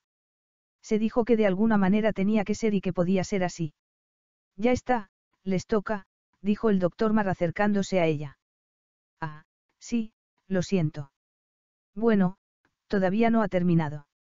Dijo haciendo el amago de pasarle a Amelia. Le importaría ayudar a Sally mientras yo les miro. Seguro que Ross y Katy pueden contestar al teléfono un rato. Me parece que tiene notitis. Efectivamente. El doctor Mar le explicó a su madre por qué aparecía esa infección y qué debía hacer. Sally tomó buena nota de todo. Cuando Sally se fue, llevándose a los tres bebés, Stevie se quedó un poco planchada y se dio cuenta de que no le apetecía nada quedar con un hombre aquella tarde. La hora que estuvo con él no fue nada divertida. Stuart resultó ser una persona muy normal, asesor financiero, tenía 40 años, estaba divorciado y no tenía hijos, era alto y guapetón. No congeniaron en absoluto, pero ambos fueron educados y no lo dijeron. Se despidieron sin que él le pidiera el teléfono y Stevie supo que no se volverían a ver. El martes por la tarde fue exactamente igual. Chris trabajaba en publicidad, tenía 35 años, no había estado casado, muy amable y afable. Le pidió el teléfono, pero seguro que no la llamaría. Al llegar a casa casi a las siete dispuesta a cenar lo que había sobrado del guiso de atún, estuvo tentada de llamar a la cita del miércoles, John, para anularla, pero le pareció una cobardía. Decidida, a la mañana siguiente, se vistió con mucho esmero. Se puso una falda nueva de lana y un jersey de manga corta de angora negro. Después de trabajar, se metió en el baño y se maquilló un poco. Hecha ya toda una veterana, entró en bravos. Aquel primer momento del contacto visual, del intentar adivinar quién era el hombre con el que había quedado, era el que menos le gustaba. Al entrar, se dio cuenta de que, a pesar de que había tomado toda clase de precauciones, se había olvidado de una. El Bravos estaba demasiado cerca del trabajo y se podía encontrar con alguien del centro. Pues bien, eso era exactamente lo que acababa de suceder. Julius Mar estaba en la barra mirando el reloj. Él no la había visto y, por un momento, Stevie pensó que él podría ser John. A diferencia de Stuart y de Chris, Aquel hombre que había firmado su carta como, tu nuevo amigo, le había parecido más cauteloso cuando habían hablado por teléfono. También podía ser que el tal John estuviera casado y por eso no le hubiera dado su verdadero nombre. En cualquier caso, John no podía ser Julius Marr. Ella había dicho la verdad de todo, había dicho que se llamaba Stephanie, que todo el mundo la llamaba Stevie, que trabajaba de recepcionista en un centro de salud y, además, no era su voz. Él no habría quedado con ella si hubiera sabido que era ella. No parecía de esos hombres que engañan. En el tiempo que tardó en pensar todo aquello, Julius la había visto, así que no tenía más remedio que ir hacia él y saludarle con una sonrisa. ¿Ha quedado con alguien? preguntó Julius. Sí. ¿Y usted? Eso espero, contestó mirando otra vez el reloj. Llega tarde. Mi cita, también. Tomamos algo mientras esperamos. De acuerdo, dijo sin pensar. Lo que pasa es que, si me siento con usted, no sabrá que soy yo porque la persona con la que he quedado espera encontrar a una mujer sentada sola, añadió dándose cuenta de la situación. Pero. No sabe cómo es usted. Es una cita a ciegas, confesó intentando disimular la vergüenza. No sabe absolutamente nada sobre mí. En ese caso, contestó sin rastro de desaprobación o de burla, puede que tenga razón. Es mejor que se siente sola. Prefiero no estropearle la tarde. No. Dios, ayúdame, prefiero pasarla contigo. Está muy guapa, por cierto. Quería decírselo antes, en el centro, pero no he tenido oportunidad. Gracias. Estevi se fue a una mesa pequeña y se colocó de tal manera que no le daba la espalda, pero solo le veía por el rabillo del ojo. Un minuto después, llegó un camarero negro con un gin tonic y una nota que decía, de parte del caballero de la barra. Estevi sonrió al doctor Mariel levantó su vaso hacia ella. Luego, esperó, y esperó y esperó, como él. Julius se acercó a ella, con el vaso casi vacío.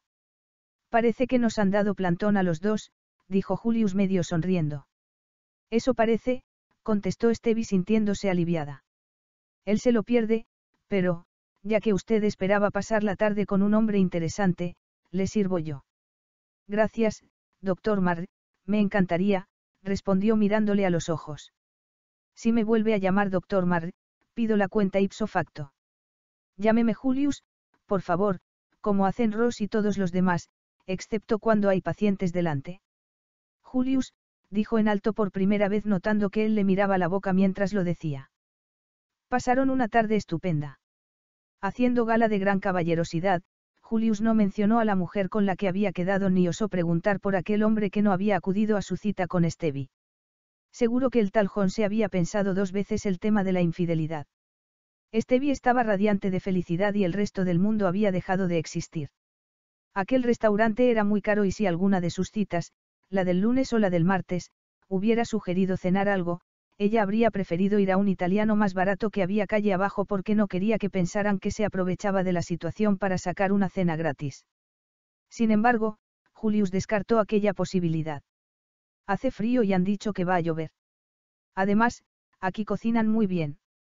Estevi pensó que sería de mala educación negarse, así que decidió disfrutar de su vino blanco seco, sus champiñones guisados y su ensalada César, los fettuccini con gambas y nata, la tarta de chocolate y café. La comida era buena, pero la compañía era todavía mejor. Si Julius ya le caía bien cuando era el médico de su madre y se había fijado en él en el trabajo, en el transcurso de la cena, a medida que iba sabiendo más cosas sobre él, empezó a enamorarse perdidamente. ¿Dónde estabas antes de venir al centro de Sousore? Preguntó Stevie mientras cenaban. En urgencias del hospital de Sousore, reciclándome durante un año. Antes de eso, pasé 12 años investigando en la Universidad de Sydney y nunca había estado en contacto con los pacientes. Menudo cambio. Sí. ¿Te gusta el centro? Sí, me encanta. Me alegro. Pues sí, la verdad es que fue un gran cambio, pero fue voluntario. ¿Por qué? Me di cuenta de que no me gustaba la persona en la que me había convertido, confesó. Estaba tan metido en mi trabajo, que me había olvidado de que la medicina, todo tipo de medicina, es estar en contacto con la gente. No tenía vida, solo iba al laboratorio y al despacho de la universidad. Desatendía a mis seres queridos y eso no se debe hacer. Durante mucho tiempo, creí que... Se interrumpió repentinamente. ¿Qué? No, prefiero no hablar de ello. Ya ha terminado y estoy contento con el cambio. Y has dejado por completo la investigación. No del todo. Bueno, en realidad, le dedico más tiempo del que me gustaría. Creo que dentro de unos meses, habré terminado. Es por eso por lo que, a veces, parezco preocupado. ¿Y por qué no hablas de ello? ¿Por qué es mi problema? Por favor, te pido que no cuentes nada en el trabajo de lo que hablemos hoy. Por supuesto. Resulta que bueno, hay gente a la que podría herir y no quiero correr el riesgo de que eso suceda. Es mejor no hablar del tema. El camarero llevó más café y Julius se alegró de poder dar carpetazo al asunto. Pasaron a hablar de otras cosas. Julius le preguntó por el grupo de música y ella le contó lo de la boda del domingo. Debió de ser divertido. Sí. ¿Cómo se os ocurrió el nombre del grupo? Fue idea del exmarido de Liz. Un día estábamos ensayando en su casa, entró en la habitación y nos dijo, parecéis Lizzie cuando se pone a cantar en la cocina. Compuse una canción con aquella frase y luego pensamos que sería un buen nombre para el grupo. Lo es. Bien por Pete. Eh, bueno. Él solo lo dijo. Nosotras nos dimos cuenta de que era bueno. Se rieron. Debió de ser importante para tu madre saber que tenías eso en tu vida, añadió Julius poniéndose serio. Sí. La podía dejar sola si teníamos una actuación si me aseguraba de sentarla bien y de que algún vecino pasara a verla de vez en cuando. Además, solíamos ensayar en mi casa y a ella le encantaba oírnos. Me lo imagino. A ella le gustaba saber que tenía cosas que me llenaban. Y era suficiente. Me lo he preguntado desde que te conocí. Era suficiente. Lo es ahora. No, la verdad es que no, contestó mirando el café. Sobre todo, ahora que ella no está. No, Lizzie in the kitchen ya no es suficiente. Julius posó su mano sobre la de Stevie, la acarició, pasó un dedo por los nudillos y siguió el dibujo de sus venas bajo la piel. Hay algo que me ronda la cabeza desde hace un tiempo. Me dejarías que intentara rellenar ese hueco, Stevie. Capítulo 4. No hacía falta que le contestara con palabras. La respuesta estaba en sus ojos. Julius la besó suavemente en los labios. Estevi pensó que aquel había sido el beso más breve de la historia, pero, en aquel momento, Julius volvió a por más. Aquella vez ella estaba preparada para recibirle. Abrió la boca y le dejó entrar. Sabía maravillosamente a café, chocolate y vino. Estevi sintió cómo todo su cuerpo se estremecía ante la magia de su cercanía. Sintió su fuerte mandíbula, varonil, contra su mejilla. Aspiró el aroma a madera de su aftershave y sintió el cosquilleo de sus pestañas cuando cambió la cabeza de lado. Luego, lentamente, se separó de ella. Aquí no, susurró Julius. Vámonos. Estevi solo pudo asentir sin decir palabra. Aquello le había pillado por sorpresa. Ella había creído que era solo ella y, de repente, resultaba que él también se sentía atraído. En aquel momento no se preguntó ni dudó nada. No había sitio para dudas o preguntas. Todo lo impregnaba él. Su voz, su sabor, su calor, su olor masculino. Abandonaron el restaurante agarrados de la cintura. A Estevi le temblaban las piernas y sintió que podría quedarse pegada a él para siempre. ¿Has venido en coche? Preguntó Julius ya fuera. No, pensaba llamar a un taxi. Bien, así iremos juntos. ¿A dónde? Preguntó Stevie dándose cuenta de que era una pregunta muy provocativa. A tu casa, respondió él sin dudarlo. Si te parece bien. Me gustaría quedarme contigo unas cuantas horas más. Añadió posando la mano en su cadera en un gesto que no pedía nada, pero que lo decía todo. Stevie, sintiéndose en la gloria, le dijo que sí. Cuando la volvió a tocar, nada más entrar en la casa a oscuras, Stevie seguía temblando. Alargó el brazo para encender una luz, pero él se lo impidió. No, no la oscuridad está bien. Déjame que te bese a oscuras, Estevi. Y lo hizo. Si le había gustado en el restaurante, le gustó diez veces más estando solos. A su lado, ella era diminuta, pero no importaba. Julius le agarró la cara con las manos y la besó hasta dejarla sin aliento. La agarró de la cintura y la levantó del suelo. Estevi se rió y lo abrazó, pasándole los dedos por el pelo oscuro y acariciándole la mandíbula antes de besarle. ¿Quieres no sé un chocolate o más vino? Preguntó Stevie cuando la dejó en el suelo de nuevo. No, nada, solo sentarme en el sofá contigo y abrazarte un rato. Se besaron y hablaron y se volvieron a besar hasta que dieron las doce de la noche. Entonces, Stevie se dio cuenta de que Julius estaba agotado. Estás muerto de cansancio, Julius. Sí. Lo siento, se nota mucho. Preguntó frotándose los ojos. Perdona tú.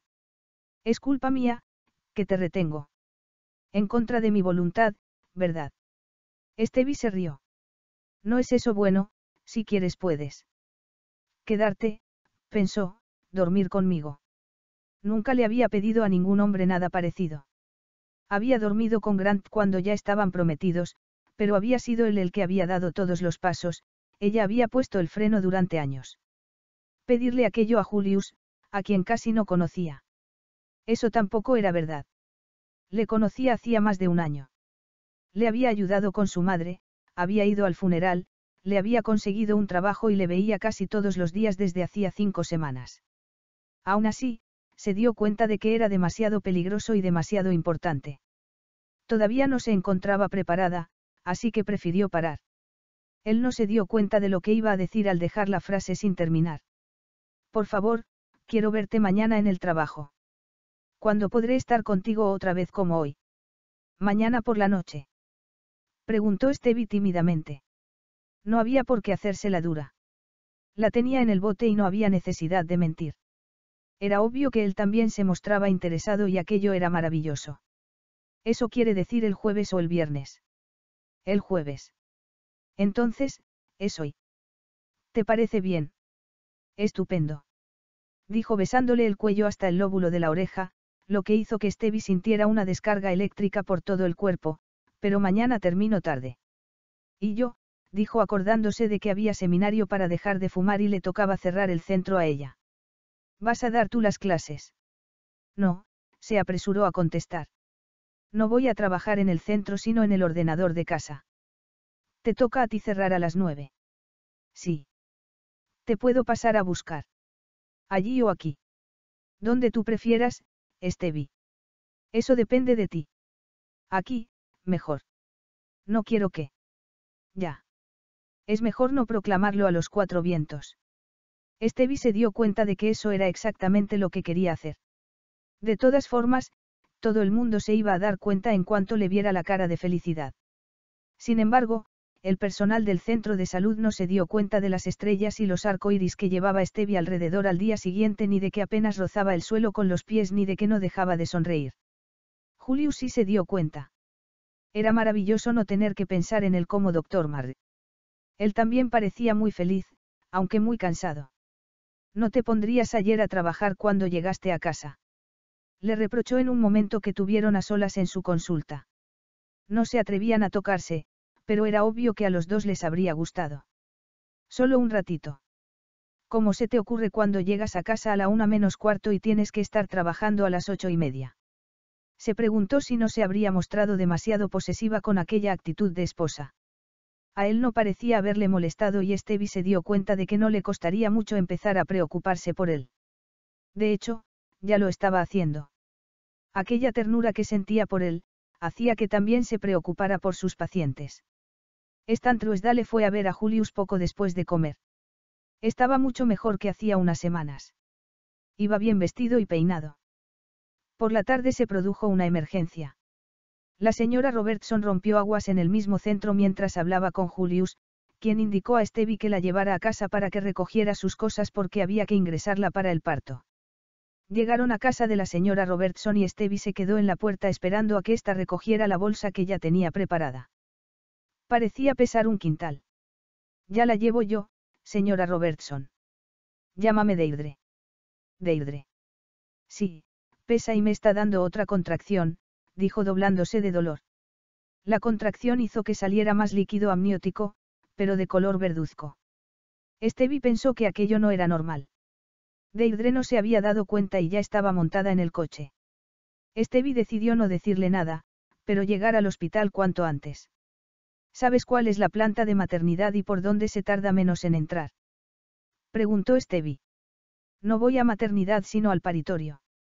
Es un ala aparte donde solo hay comadronas. Mejor vamos a ir a maternidad, insistió Stevie para que para que te tomen los datos y esas cosas, dijo parando en urgencias. No quería alarmar a aquella mujer y, por suerte, Deirdre estaba teniendo otra contracción y no protestó. Llegó un enfermero con una silla de ruedas. ¿Les ayudó? Preguntó cuando Stevie estaba sacando a Deirdre del coche. No. Contestó Deirdre enfadada mirando a Stevie. ¿Por qué estás haciendo estas tonterías? Tengo que ir al paritorio. Puede ir desde aquí, dijo el enfermero llevándosela. Estevi dejó el coche de los Robertson a pocos metros de la entrada de ambulancias y se dirigió a una enfermera. Esta mujer quiere ir al paritorio, pero no creo que deba. Tiene una mancha verde en la parte de atrás del vestido. Es del líquido amniótico. Creo que el bebé no viene bien. La enfermera le dijo a Deirdre que se levantara, pidió una camilla a toda velocidad y pulsó el botón del ascensor. ¿Qué pasa? ¿Por qué nadie me escucha? Preguntó Deirdre enfadada. Querida, no se preocupe, pero la tiene que ver un obstetra. Puede que tengamos que provocarle el parto. Deirdre comenzó a ponerse nerviosa y a llorar a lágrima viva. ¿Ha venido usted con ella? ¿Es su hermana? Preguntó la enfermera a Stevie. No, yo soy la recepcionista del centro de salud. Ella. El ascensor llegó a su destino y nadie se molestó en escucharla. Stevie pensó en que tenía que mover el coche. Pobre Deirdre. No había podido hablar con su marido. Ross y Aimee se estarían preguntando dónde estaba Stevie, pero aquello podía esperar. Stevie fue a aparcar bien el coche y cuando volvió, se encontró con que la recepcionista no le dejaba entrar, así que tuvo que contarle toda la historia. Esperó a que llamaran al centro de salud para comprobarlo, lo que le vino muy bien porque así Ross se enteró de dónde estaba. La enfermera le dijo que a Deirdre le estaban haciendo una cesárea y Stevie decidió intentar ponerse en contacto con el marido, pero no le dio tiempo porque, de repente, apareció el doctor Blair y le informó de que había sido niño y de que estaba bien. El doctor Blair le dio su tarjeta y le pidió que le dijera al marido que le llamara cuanto antes. Stevie recorrió la distancia hasta el centro de salud rauda como un rayo en cinco minutos, pero Julius ya no estaba. Los jueves solía salir pronto. Stevie no pudo evitar sentirse decepcionada. No me dejes con la intriga. ¿Qué ha pasado? Preguntó Ross. Nada, el niño está bien. Entonces, ¿a qué viene esa cara? Es que no sé cómo voy a hacer para localizar al padre, improvisó Stevie. Es paciente nuestro. Mira en el archivo. Stevie vio que tenía un móvil y lo llamó. Le pilló justo saliendo de la reunión que tenía en Melbourne. Le costó unos minutos conseguir papel y boli para apuntar el teléfono del doctor Blair. Tengo que cambiar el billete de avión para llegar antes. Tres horas después, Sean Robertson llamó ya desde la cabecera de la cama de su mujer. Es un niño precioso, señora Reid, le dijo a Stevie, que no se molestó en decirle que no estaba casada. Le vamos a llamar la clan. Le voy a pasar a Deirdre porque quiere darle las gracias. Es suficiente con saber que el niño está bien, dijo Stevie. Sí, pero me han dicho que si no llega a ser por usted, todo podría haberse complicado. Le estamos muy agradecidos. De verdad, no hace falta. Solo hay una cosa. ¿Sabe usted dónde están las llaves del coche de Deirdre? Ay, madre, las tengo yo. Como no podía abandonar su puesto y no quería que Sean tuviera que ir hasta allí, le prometió acercárselas ella en cuanto cerrara a las nueve. Aquello significaba que era imposible que estuviera en casa a las nueve y veinte, tal y como había quedado con Julius. Pensar en que él se iría al ver la casa apagada y que nadie le abría no le gustó. Esto está yendo demasiado rápido. Me estoy enamorando demasiado deprisa, pensó. Buscó el número del busca de Julius y le dejó un mensaje explicando lo sucedido. A los cinco minutos, llamó él. Nos vemos en la habitación de la señora Robertson. Quiero darle la enhorabuena y ver al bebé. Además, no quiero tener que esperar media hora más para verte. Temía que no nos pudiéramos ver hoy. No si yo puedo evitarlo. Su voz era como una caricia, pero, de repente, oyó la voz de una mujer por detrás. Kile, Lauren, a la cama. Nos vemos dentro de tres cuartos de hora, entonces. Dijo Julius ignorando el comentario. Se me va a hacer muy largo. Y a mí, dijo Stevie sintiendo un nudo en la garganta. Stevie había imaginado que ir a trabajar a casa significaba que estaría solo, cenaría solo y luego iría a verla a ella. Pero no estaba solo.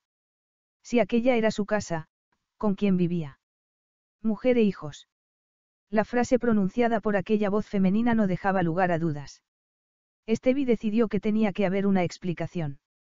Por supuesto, no se la iba a pedir porque el problema era que ella se debía de estar imaginando las cosas. Hacía tanto tiempo que no estaba con nadie. El rato que estuvieron juntos fue perfecto. Stevie les llevó las llaves a los Robertson y estaba viendo al bebé cuando entró Julius. Se quedaron un rato con ellos y se fueron. Estaban en la gloria estando solos y todas las dudas de Stevie desaparecieron. Estaba pendiente de ella como si hubiera estado pensando en aquel momento todo el día. ¿Estás bien? Cuando entré en la habitación, me pareció que estabas un poco tensa.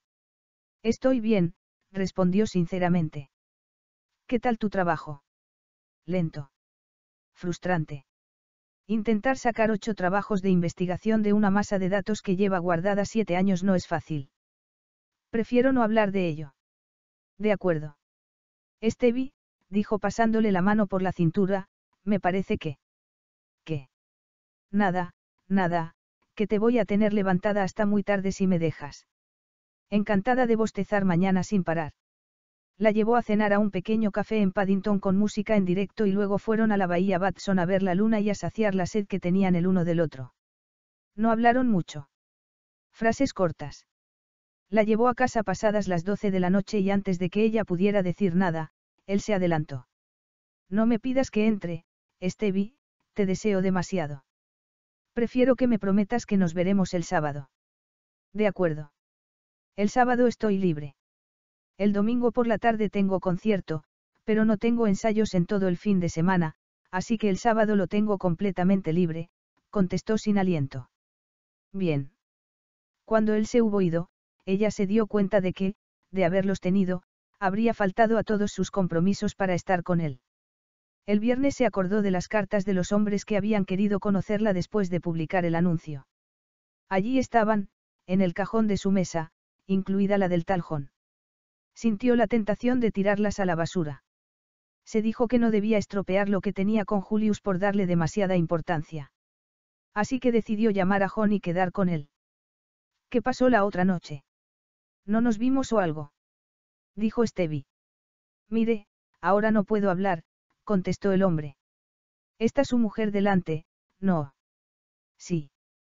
¿Cómo lo sabe? Preguntó estupefacto. ¿Por qué era demasiado obvio? Espero que su mujer. Le colgó el teléfono. Estevi hizo una bola con la carta del tal John y miró las otras. No puedo, pero quizás debería. Solo para no cerrarme puertas, pero no puedo. Estoy enamorada de Julius. Al final de la semana, Estevi supo que no tardaría mucho en acostarse con él. Habían pasado el sábado entero juntos, el uno pendiente del otro, sin hacer muchas cosas, la verdad.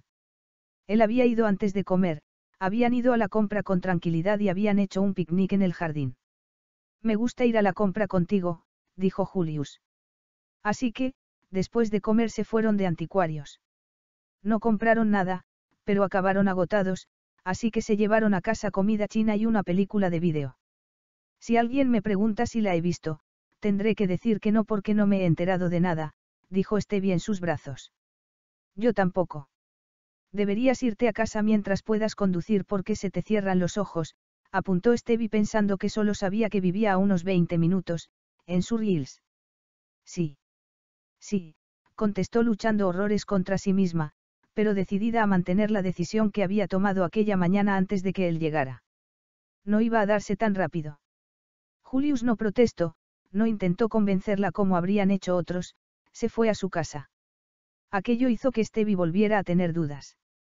Si estuviera casado y quisiera tener una aventura, querría ir directo al grano. Como John, seguramente. Si está dispuesto a esperar, a haber pasado más tiempo juntos es que realmente le importó. Aquella semana le costó mucho trabajar porque se distraía con facilidad. Julius, sin embargo, no parecía distraído. Cualquiera diría que acababa de embarcarse en una nueva relación. Todos los días, se iba a casa con el mismo maletín lleno de cosas con el que había llegado y la intención de seguir trabajando allí. Estevi se sentía un poco apartada de aquel aspecto de su vida del que no hablaba apenas, pero tal vez fuera normal. Debe de ser que, como no soy médico, no entendería lo que me contara. Él prefiere hablar conmigo de otras cosas, que le distraiga, no que le hable de trabajo. Aquella idea no le disgustó. Ser la mujer que ayuda a su hombre a desconectar, a pensar en otras cosas y que se ocupa de cuidarlo. Cuidarlo era su objetivo. Decidió que la próxima vez que le preguntara si podía quedarse a pasar la noche, le diría que sí. Capítulo 5. Irene, sería de gran ayuda, dijo Julius con suma paciencia y educación, si los niños no estuvieran siempre delante cuando quedamos. No los defraudes, Julius, contestó Irene enfadada. Aquello le sonaba familiar, lo había escuchado durante años y nunca le había gustado. No te das cuenta de que necesitan a su padre.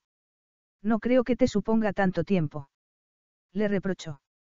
Sí, sí, Irene, ya lo sé, se limitó a contestar aunque podía haber dicho muchas cosas. Aquel día había sido muy largo. Kile y Lauren no tardarían en irse a la cama. Entonces, Irene y él arreglarían un par de cosillas y se podría ir a ver a Stevie. El corazón le dio un vuelco. Irene le había hecho quedarse más tiempo que otros días, incluso tuvo que quedarse a cenar. Irene era una cocinera estupenda y el guiso de pollo con almendras estaba realmente bueno. Stevie tenía concierto y terminaba a las 10.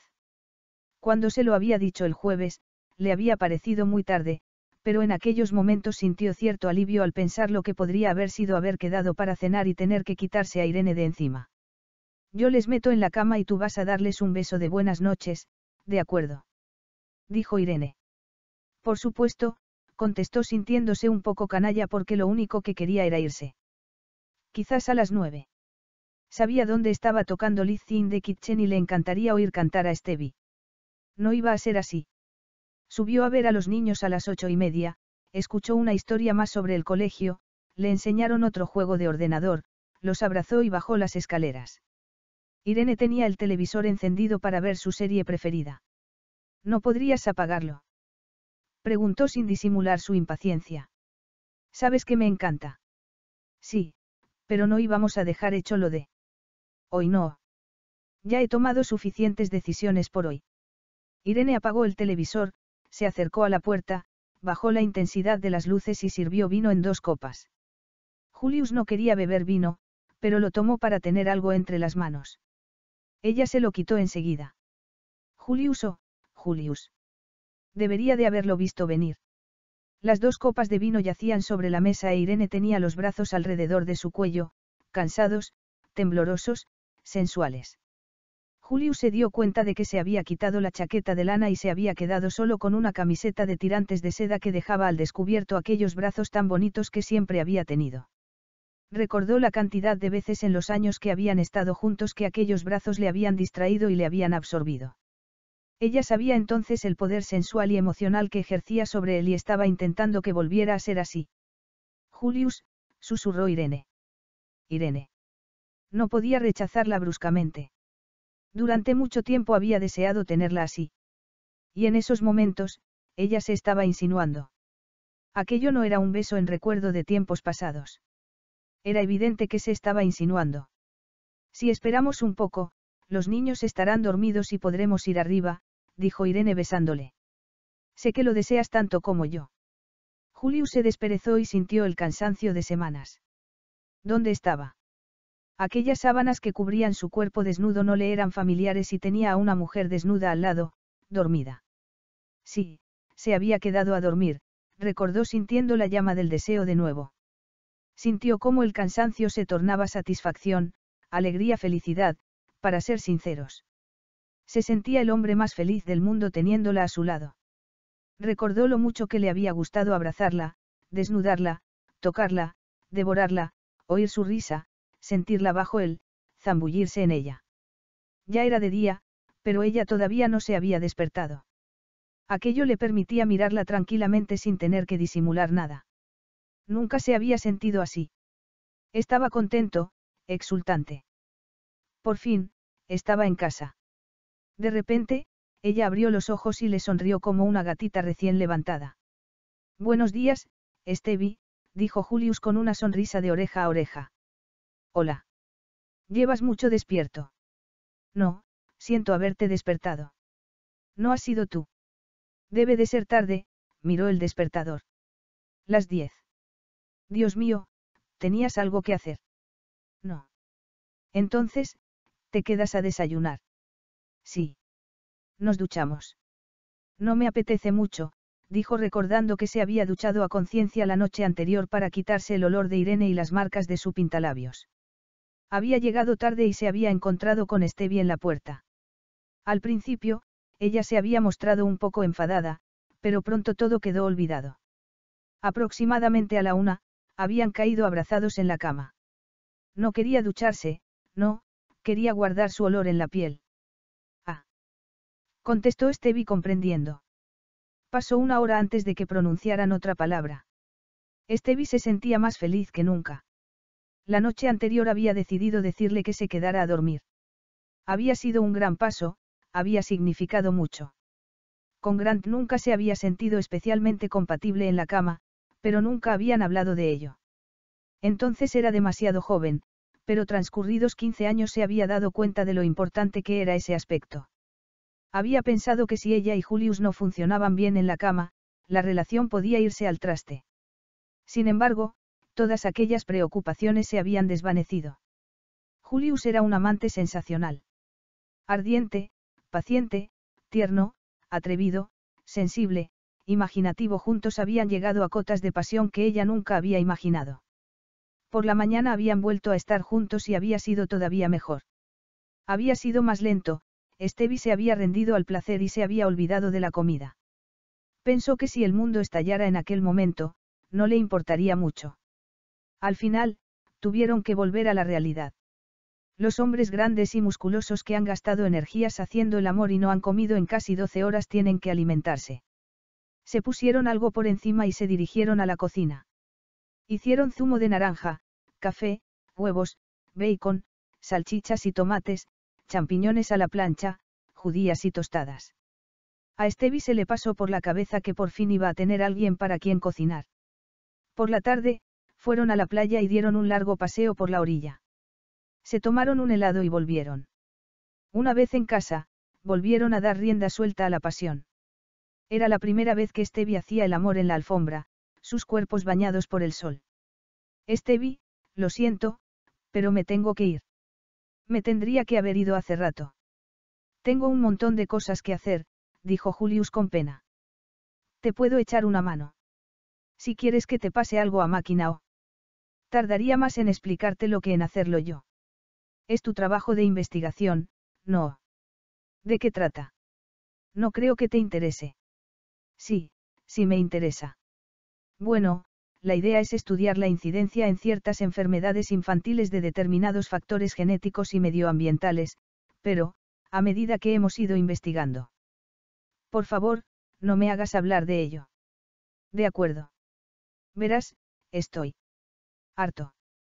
Lo sé. No hablaremos de ello. Te entiendo, pero no presupongas que no me interesa y si necesitas hablar de algo, desahogarte. Te lo agradezco, Stevie, contestó riendo. Al poco rato, se fue y Stevie no se sintió sola porque él lo invadía todo, su mente, su casa. Habían quedado que lo mejor era no decir nada en el trabajo. A Stevie no le apetecía soportar la curiosidad ni las conjeturas, aunque fueran bien intencionadas. No había ninguna razón oscura para ocultarla, pero era una relación nueva y frágil y era mejor protegerla. Además, tenía su encanto pillarle mirándola en mitad del día y saber que esa mirada especial era solo para ella. Stevie había olvidado, si alguna vez lo había tenido con Grant, lo que era pasar tiempo con el hombre amado. Las cosas más rutinarias se convertían en actividades especiales. Ducharse, lavar los platos, leer el periódico. Era fascinante descubrir cosas del otro, gustos, intereses comunes, diferencias, nuevos puntos de vista. Lo único malo es que hayamos empezado cuando tú estás tan ocupado, comentó Stevie una tarde de lluvia, tumbados en la cama, una semana después del primer estallido de pasión. Pues sí. Pero, algún día terminará, ¿verdad? Espero que pronto.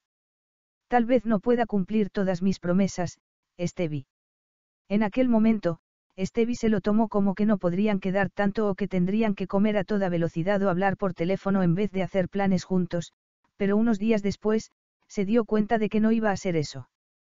Todo comenzó un viernes. Estaba lloviendo a mares y mucha gente fue al centro con resfriados. Entre ellos, una pareja mayor de homosexuales que se prodigaban mil atenciones y que se dirigían el uno con el otro como, mi compañero. Sally pensó en Julius como su compañero, pero le pareció demasiado frío. Sally Kitchen, con sus trillizos, también fue al centro. Los niños no paraban de llorar. Al principio a nadie le importó, pero al rato los demás pacientes empezaron a quejarse. De repente, Sally se levantó y se fue hacia la puerta hablando sola y comentando que no sabía si tenía suelto suficiente para el autobús. Estevi tuvo que levantarse, agarrarla del brazo y hacerla entrar. Al final, se los llevó a todos a una habitación aparte. Sally comenzó a llorar a lágrima viva y Estevi la dejó desahogarse y le preparó una taza de té. Entonces, entró Julius para avisarles de que podían pasar a consulta. Otitis otra vez. James y Amelia, le dijo Julius a Estevi cuando, un cuarto de hora después, le llevó un café. No sé si esta mujer está sufriendo una depresión. Está muy sola, su marido está trabajando demasiado. Creo que deberíamos ir a verla. ¿Te importaría pasarte por su casa? Yo iré la semana que viene y así tendremos dos opiniones. Por cierto, ese vestido te queda maravilloso. Gracias. Julius estaba muy ocupado durante todo el día y solo lo veía cuando salía de la consulta para llamar al siguiente paciente. A la hora de comer, Stevie estaba agotada y, al ver a Julius que salía a comer a toda velocidad, pensó en ir a hablar con él para ver si podían comer juntos porque aquel fin de semana no se iban a ver mucho. Liz in the Kitchen tenía cuatro conciertos y Julius tenía un montón de trabajo para casa porque, según él mismo le había dicho la noche anterior cuando habían hablado del fin de semana, se había distraído tres noches entre semana. Al final, decidió no decirle nada. Él salió a toda velocidad hacia el aparcamiento. En ese momento sonó el teléfono. Centro de Salud de Sousore, dijo Stevie. Necesito hablar con Julius Mar inmediatamente y no contesta ni en su teléfono directo ni en su móvil, dijo una voz preocupada de mujer. Acaba de salir hacia el aparcamiento. Si lo intenta dentro de un minuto, seguro que le pilla en el móvil. Gracias. Por si acaso, le importaría dejarle un mensaje. Dígame. Dígale que tengo un problema con bueno, nada, dígale solo que he llamado. ¿De parte de quién? De Irene. ¿Y usted quién es? Stephanie Reid. Stephanie. Bien, mire, soy su compañera, así que, por favor, asegúrese de que recibe el mensaje. Irene colgó y Stevie se sintió dolida y miserable. No pudo evitar tener una corazonada. Decidida, pensó que todo era una paranoia suya. Se limitó a dejarle una nota que decía, ha llamado Irene. En mayúsculas, para que no se parara a pensar de quién sería la letra. Él no es un mentiroso. Lo conozco lo suficiente como para saberlo. Tiene 42 años y es obvio que habrá tenido otras relaciones. Eso lo sabía desde el principio. Compañera, es un concepto muy amplio. A lo mejor es que se están divorciando. No existe la palabra, casi es mujer. Aún así, no me gusta que no me haya contado nada, pero es un hombre reservado en muchos aspectos. Necesita su espacio. Tampoco le gusta hablar de su trabajo de investigación. Quería creerlo, pero sabía que tenía que hablar con él sobre Irene. Aunque solo llevemos juntos unas semanas, tengo derecho a preguntar y a saber. Capítulo 6. Por la tarde, todo se alió para que no tuvieran ni un momento a solas. Julius volvió tarde de comer, calado y ya tenía dos pacientes esperando, así que tampoco pudieron hablar entonces. Pareces cansada, le dijo Julius apoyándose asomándose por el mostrador. Lo estoy, admitió. Me gustaría tanto que nos pudiéramos ver este fin de semana. ¿Y a mí? Tendrás que hablar con tu grupo. No es solo el grupo, le interrumpió. Tú estás igual de ocupado. La acusación pareció hacer mella en el por qué se fue hacia su consulta sin decir una palabra más. Estevi pasó horas odiándose por ello. Él lo había dicho de broma. ¿Qué necesidad tenía ella de contestarle de esa manera? Además, no era el momento ni el lugar. Pensó que el que uno de los miembros de una pareja se sintiera vulnerable, hacía cosas espantosas en una relación. Pedir perdón sería peor. Será mejor dejarlo pasar y no volver a hablar del tema. Cuando terminaron las visitas, Julius se fue con el maletín y el ceño fruncido. Estevi se consoló pensando que nunca tenía el ceño fruncido cuando estaban juntos. No tenía mucho tiempo. El justo para ir a casa, cambiarse y llegar al lugar del concierto. Había un tráfico espantoso y maldijo a Alex por haber aceptado tocar en aquel lugar, que estaba a hora y media de sus casas. Para empeorar las cosas, su actuación no gustó demasiado. Estaba claro que aquellos adolescentes no eran seguidores de la música country. Había sido idea del director del colegio, no suya, y estaban dispuestos a que se notara. A pesar de ello, las habían contratado para tocar dos horas y así lo hicieron. Esto ha sido un buen revés, dijo Lizzie cansada mientras recogía la batería. Aquella mujer de 45 años, con dos hijos de 17 y 14, nunca estaba cansada. ¿Estás bien? preguntó Stevie. Sí, solo necesito dormir un poco. Seguro. Bueno, un mucho. Stevie se dio cuenta de que había adelgazado aunque seguro que a aquello le parecía una buena noticia. Stevie llegó a casa a medianoche dispuesta a meterse en la cama, pero no pudo ser. Estaba demasiado nerviosa. Se metió en la cama, pero se puso a dar vueltas. Decidió levantarse, se hizo un chocolate y se puso a leer. Vio una luz encendida. Tal vez fuera Sally Kichin atendiendo a alguno de los pequeños. Stevie no se podía creer que no se quedara dormida. Eran las dos de la mañana y se había levantado a las siete. Se despertó muy pronto e intentó dormir un poco más, pero no lo consiguió. Pensaba en Julius, en la mujer que había llamado. Irene. Aquella ridícula palabra. Compañeros. La odiaba. Pensó que un divorcio debía de ser una situación muy difícil. Tal vez no estaban casados, por eso ella había dicho que era su compañera. Daba igual, el vínculo sentimental era el mismo. Y sí, además, había niños. Los niños. Julius había llegado a odiar los fines de semanas porque debía pasarlos con Lauren y Kile. No podía evitar sentirse mal por ello. No paraba de intentar encontrar otras soluciones. Había otras soluciones. Sin embargo, no tenía valor porque Irene estaba muy vulnerable. Se sentía atrapado por aquella vulnerabilidad que, también, le hacía sentirse culpable. Lo único que quería era pasar el fin de semana con Stevie, que era fuerte y sincera, que no lo manipulaba. Odiaba las comparaciones, pero no podía evitar comparar a las dos mujeres de su vida. Su doble vida, pensó levantándose de la cama. Su horrible doble vida. ¡Qué estupidez! No eran más que las siete y había llegado a casa a las dos. Había quedado con Irene a las diez, así que tenía tiempo de sobra. Se duchó, se lavó el pelo, se afeitó y se vistió de sport. Se sentía mejor, pero no optimista ante el día que le esperaba. Aquella doble vida. Tendría que hablar con Stevie sobre Irene porque, de lo contrario, se estaría mostrando deshonesto e injusto. Pensar en ello le ponía los pelos de punta porque Irene no daba las cosas por terminadas. Irene no paraba de pedir y, aunque había una cosa que jamás le daría, había otras que no podía negarle. Su carrera, todo lo que le había importado durante tanto tiempo, podía quedar destrozada en manos de Irene. No aposta, claro, pero era tan manipuladora. No como Stevie, que era sincera, abierta y honesta. Tan abierta que no le había costado mucho la tarde anterior darse cuenta de que estaba enfadada. Esperaba poder hablar con ella durante el fin de semana. Podría llamarla antes de ir a ver a Irene. No, solo eran las siete y media. Habría llegado tarde y estaría durmiendo. No le pareció buena idea despertarla para hablarle de Irene. Tendría que esperar al lunes por la noche, como habían quedado. Es la última vez que aceptamos cuatro actuaciones en un fin de semana. Dijo Alex. ¿Cómo hemos dejado que ocurriera? Preguntó Stevie mientras se preparaban en el colegio de la hija de Jenny el sábado por la mañana. ¿Por qué nos equivocamos de fechas, no os acordáis?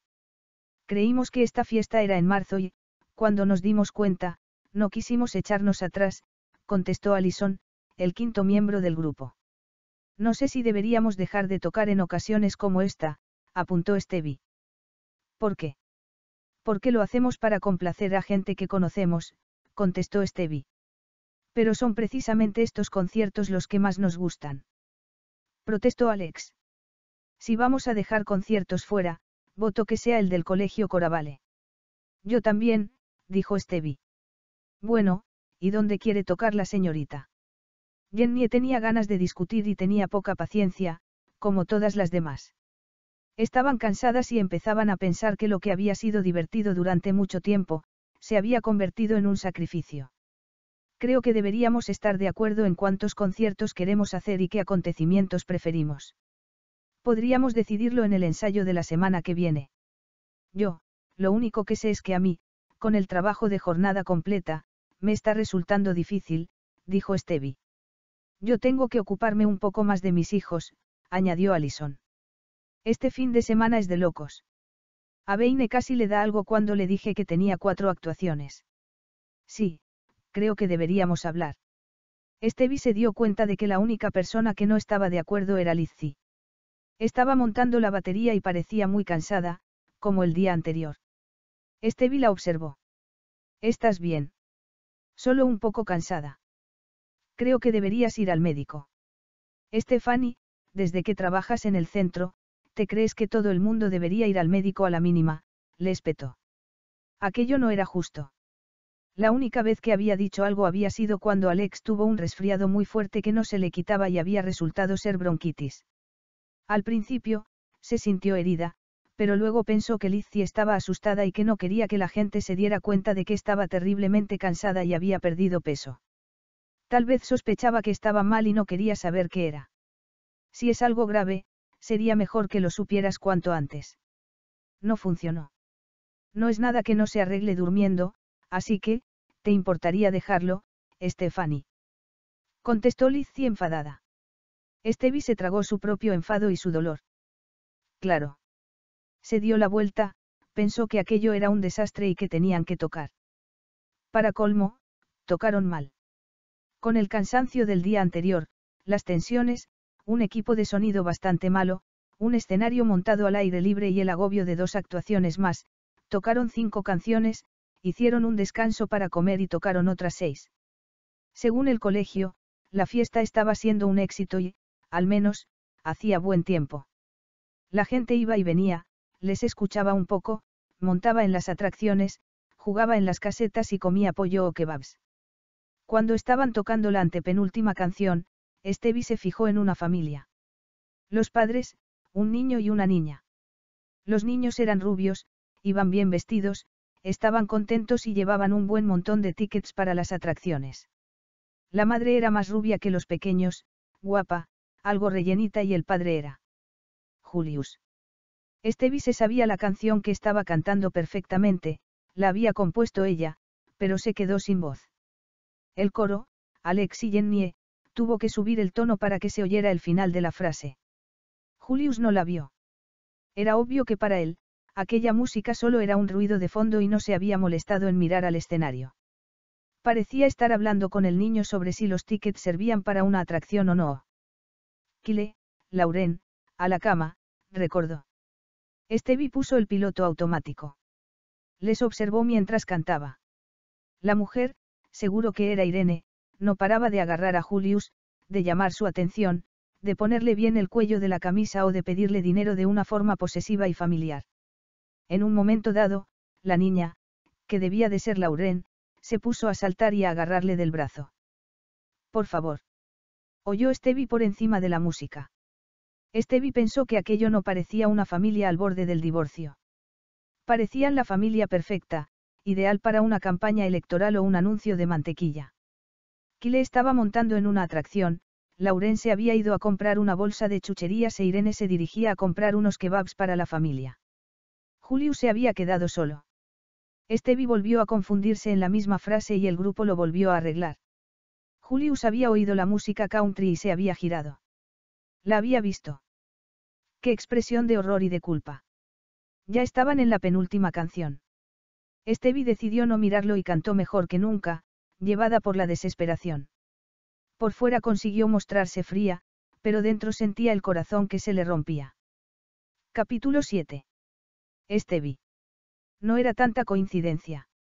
Al fin y al cabo, le había dicho que una de las actuaciones que tenía era en el colegio de la hija de una de las del grupo. Era el mismo colegio al que iba Lauren, uno de los mejores centros privados de Sydney. Cuando Julius vio la expresión de su cara, supo el terrible error que había cometido al no decirle nada de Irene. Era obvio que se había imaginado lo que no era, pero no la podía culpar por ello. Si se lo hubiera contado.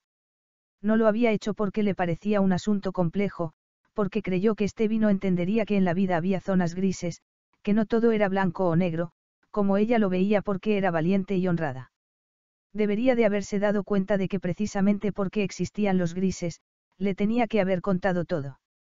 En lugar de eso, había intentado mantener sus dos vidas separadas, con la esperanza de que llegaría un momento en el que el pasado no afectaría al futuro, en el que sería más libre. Creyó que era lo mejor, lo más considerado por su parte y, también, para qué engañarse, lo más fácil para él. Se había equivocado por completo. Julius pensó que tendría mucha suerte si, cuando se lo contara, lo comprendiera. Decidió que tenía que verla aquel mismo día o, como mucho, al día siguiente. Se dio cuenta de que era imposible porque los dos conciertos que les quedaban eran en la orilla norte, donde vivía una compañera del grupo que le había invitado a quedarse a dormir. Además, él tenía que trabajar en el artículo que tenía que entregar a una importante revista de medicina y no podía retrasarse. Enfadado, se dirigió hacia Irene. Cuando terminemos de comernos esto, me tengo que ir. Ya no puedo más, no quiero seguir con esto, Irene. No le importó el reproche que vio en sus ojos como respuesta. Madre mía, qué bien lo has hecho al final.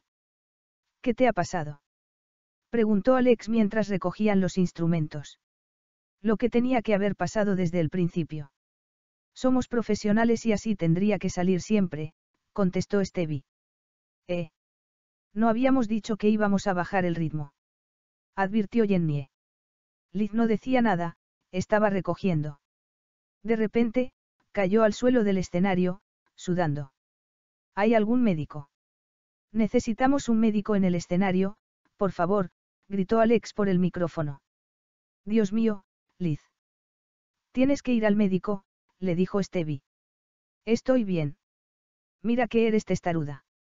Le increpó Stevie. Liz, si es un cáncer, no sería mejor saberlo cuanto antes. Desde que trabajo en Sousore, he aprendido que. Liz resopló. Hay muchas enfermedades que no conocía, pero la mayoría no son mortales si se diagnostican a tiempo, terminó Stevie igual de testaruda.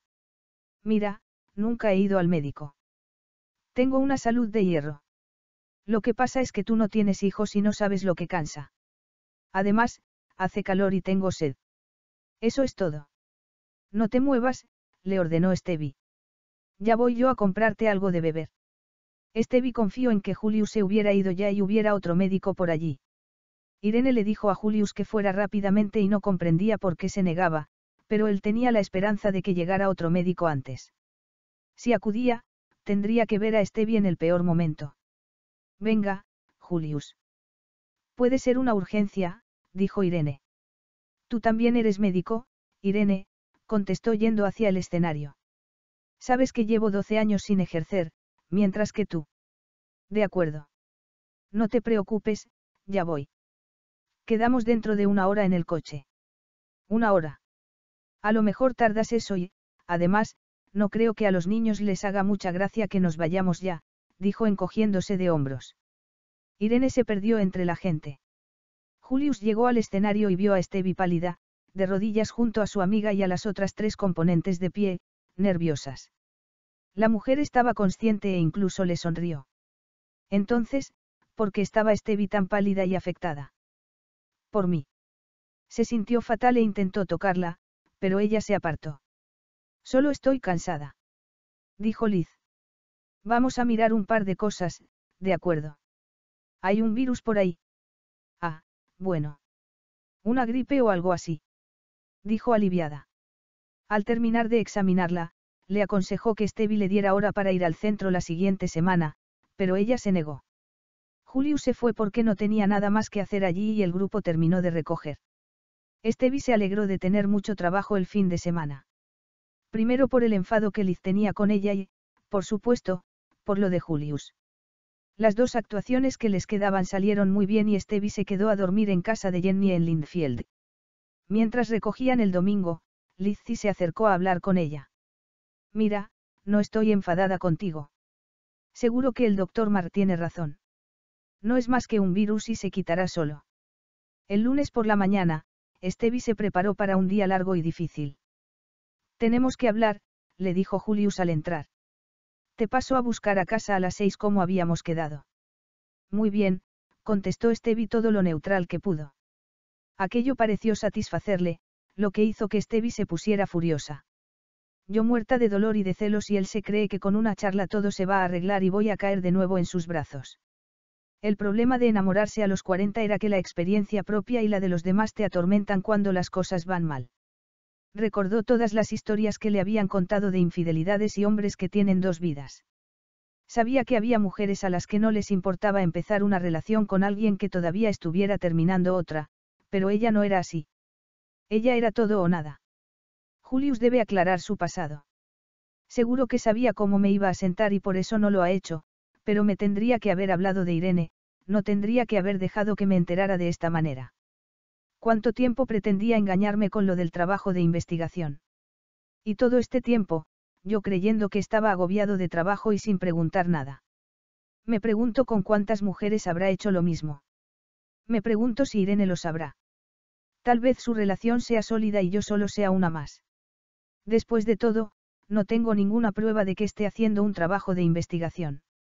Cuando llegó a casa a las cinco y media estaba más enfadada que cuando Grant le había dado el ultimátum entre él y su madre, ya no era dolor, no le apetecía tener que escuchar pacientemente la explicación de un hombre que la había engañado. Cuando llamó al timbre, tardó en abrir a posta, a pesar de que llevaba cinco minutos paseándose nerviosa por la habitación, y se apartó cuando él intentó besarla. Anhelaba que le dijera algo que arreglara todo, que Irene era su hermana, que vivía con él porque se estaba divorciando, o algo así. Pero aquello era imposible porque no era cierto. La expresión de Julius era de auténtica culpabilidad y no parecía tener intención de hacer como que no había pasado nada. Estevi, sé que hay ciertas cosas que debería haberte dicho. Y tanto.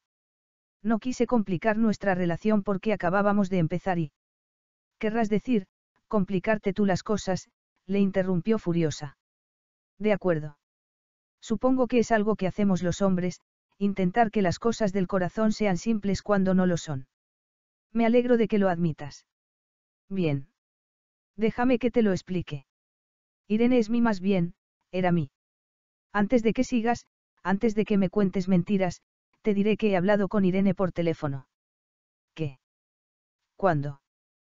Preguntó estupefacto. Estevi se quedó muy satisfecha al ver su reacción. El viernes. Cuando te dejó recado a la hora de comer para que la llamaras. Me llamó al móvil. Porque yo se lo dije. ¿Y qué te dijo? No mucho, pero suficiente. Así que, cuando nos viste el sábado. No fue ninguna sorpresa. Solo la confirmación de mis sospechas. Irene y yo no estamos juntos, Estevi. Dios, no creerás eso, ¿verdad? Lo que creo es que mi definición de estar juntos se acerca más a la de Irene que a la tuya. Me pide cosas. Ah. Así que es culpa suya, no. No. Sé que yo tengo mi parte de culpa. Déjame que te cuente la historia desde el principio. Hay cosas que Irene es imposible que te haya contado porque no quiere saberlas y otras que ni siquiera sabe. Yo no quiero saberlas tampoco, Julius, dijo Stevie con las manos en los oídos. Lo único que me faltaba era tener que escuchar las absurdas justificaciones. Que si no están juntos realmente, que si realmente no es culpa suya, que tampoco quiere dejar de lado realmente sus responsabilidades hacia los niños y que realmente no me estaba engañando, bla, bla, bla. Prefiero no saber nada, prefiero que no me dé detalles. Lo único que sé es que esto se ha acabado. Julius leyó aquel último pensamiento en su cara y este vivió claramente que le había producido dolor. Ella no era la única que estaba sufriendo. Aquello hizo que sintiera un enorme amor por él. Sin embargo, decidió mostrarse dura. Que lo hubiera pensado antes. Si realmente quería estar conmigo debería haber esperado a que la relación con Irene hubiera acabado realmente. ¿Qué entenderá él por no estar juntos? No dormir juntos. ¿Hace cuánto tiempo que no duermen juntos? No vivir juntos. No compartir la cuenta del banco. Tendría que haberle cerrado la puerta en las narices.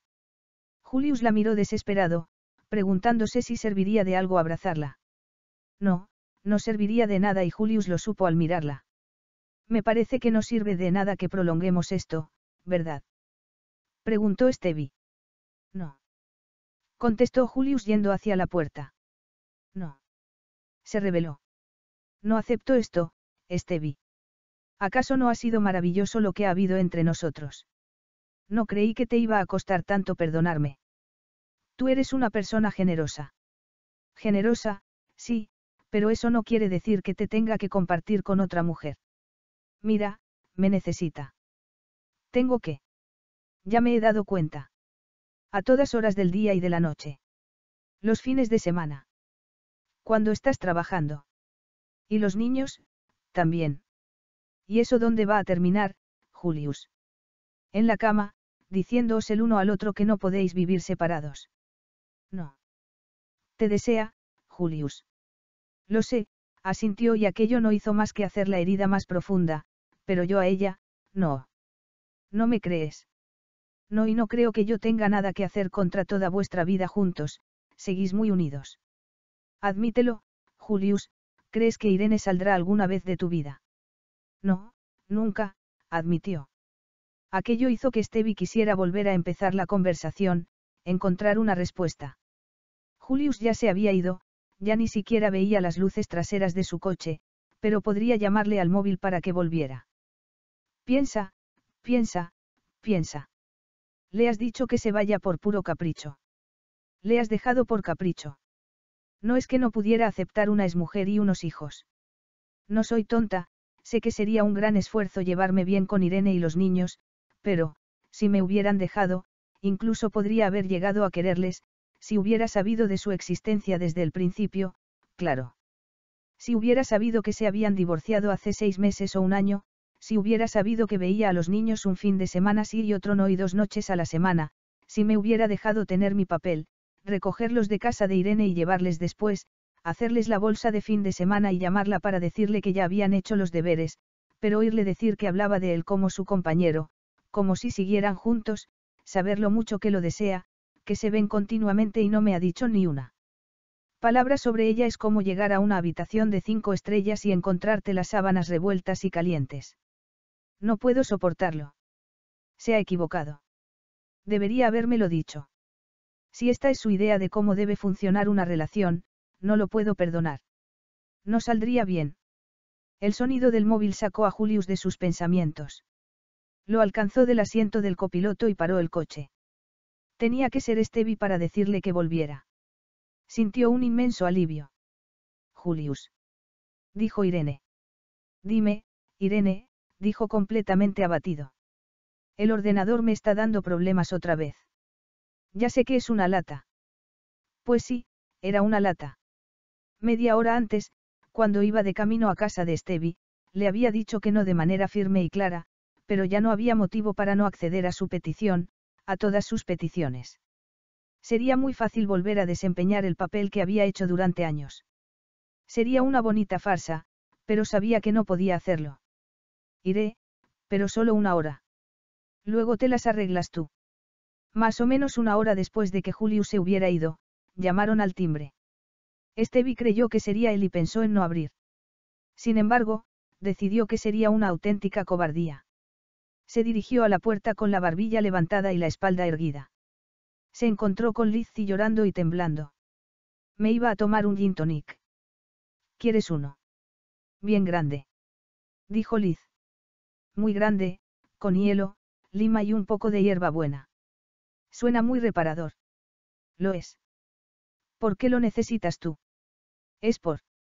Quiero decir, sé que me he portado como una auténtica desagradecida desde el viernes. No pasa nada. Lo puedo llegar a entender, contestó Stevie obviando la pregunta de Liz. Se fueron a la cocina y Stevie preparó las copas mientras Lizzie se sentaba en la mesa, terriblemente cansada y nerviosa. Stevie, tengo tanto miedo. Dijo por fin agarrando la copa con manos temblorosas. ¿Crees que es cáncer, verdad? Sí, estoy cansada, he adelgazado. Esta noche no he dormido nada. Estoy aterrada, Estevi. Siento haberme portado tan mal contigo cuando tú solo querías ayudarme. No pasa nada, pero, por favor, aunque me odies, ve al médico. No te odio. ¿Te importaría darme cita? El médico del sábado, el doctor Mark parecía bueno, no. Sí, es muy bueno. Bien, pues él, u otro, me da igual. Todos son buenos. No puedo seguir así, tenías razón. Incluso si es lo peor es mejor saberlo. Sí. Mejor saberlo. Ella ya lo sabía todo, Sobre Julius. Y era mejor. Tendría que serlo. Bueno, aquí estoy, deséame suerte, dijo Liz apareciendo de repente en el centro el miércoles. Aquello hizo que Stevie dejara de pensar en lo único en lo que llevaba pensando días. Debería haberlo escuchado. Debería haberlo aceptado. Debería haberlo entendido y haber prometido tragar con todo lo que él hubiera querido. Seguiría estando con él, aunque solo fuera a medias, aunque fuera con celos de por medio y soledad y sin saber muy bien cuál es mi lugar. Claro que seguramente terminaríamos igual, pero, encima peor, porque habría durado más e incluso tal vez me habría dejado él a mí. Así, al menos, mi orgullo no ha salido mal parado. Mi estúpido orgullo. Lizzie. Tu cita. Sí. ¿Es hoy? No. Ayer me dijiste. Sí, claro, es tan tarde ya. Las once. La hora que me dijiste. Sí. El doctor Mar va bien de tiempo. Dame tu tarjeta y rellena este formulario. Qué bonito es esto, apuntó Lizzie.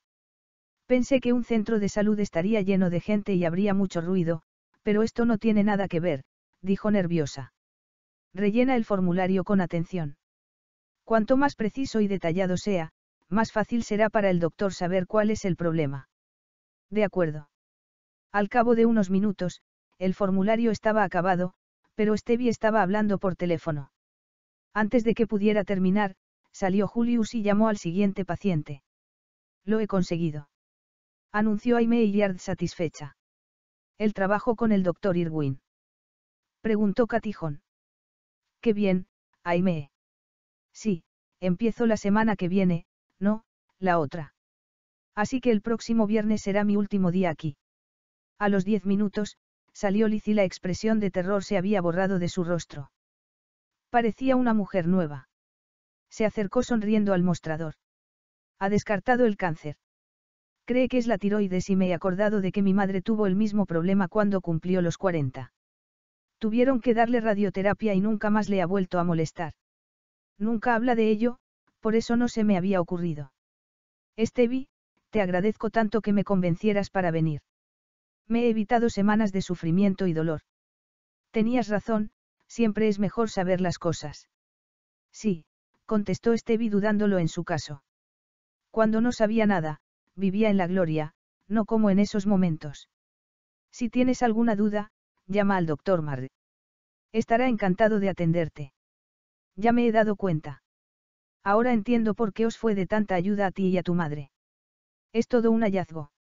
Estevi tenía intención de ir aquella noche a visitar a Sally Kitchen, pero se dio cuenta de que no era el momento cuando fue a tender la ropa y se encontró con Sally y su marido tomando pizza en el jardín, ensalada y tarta.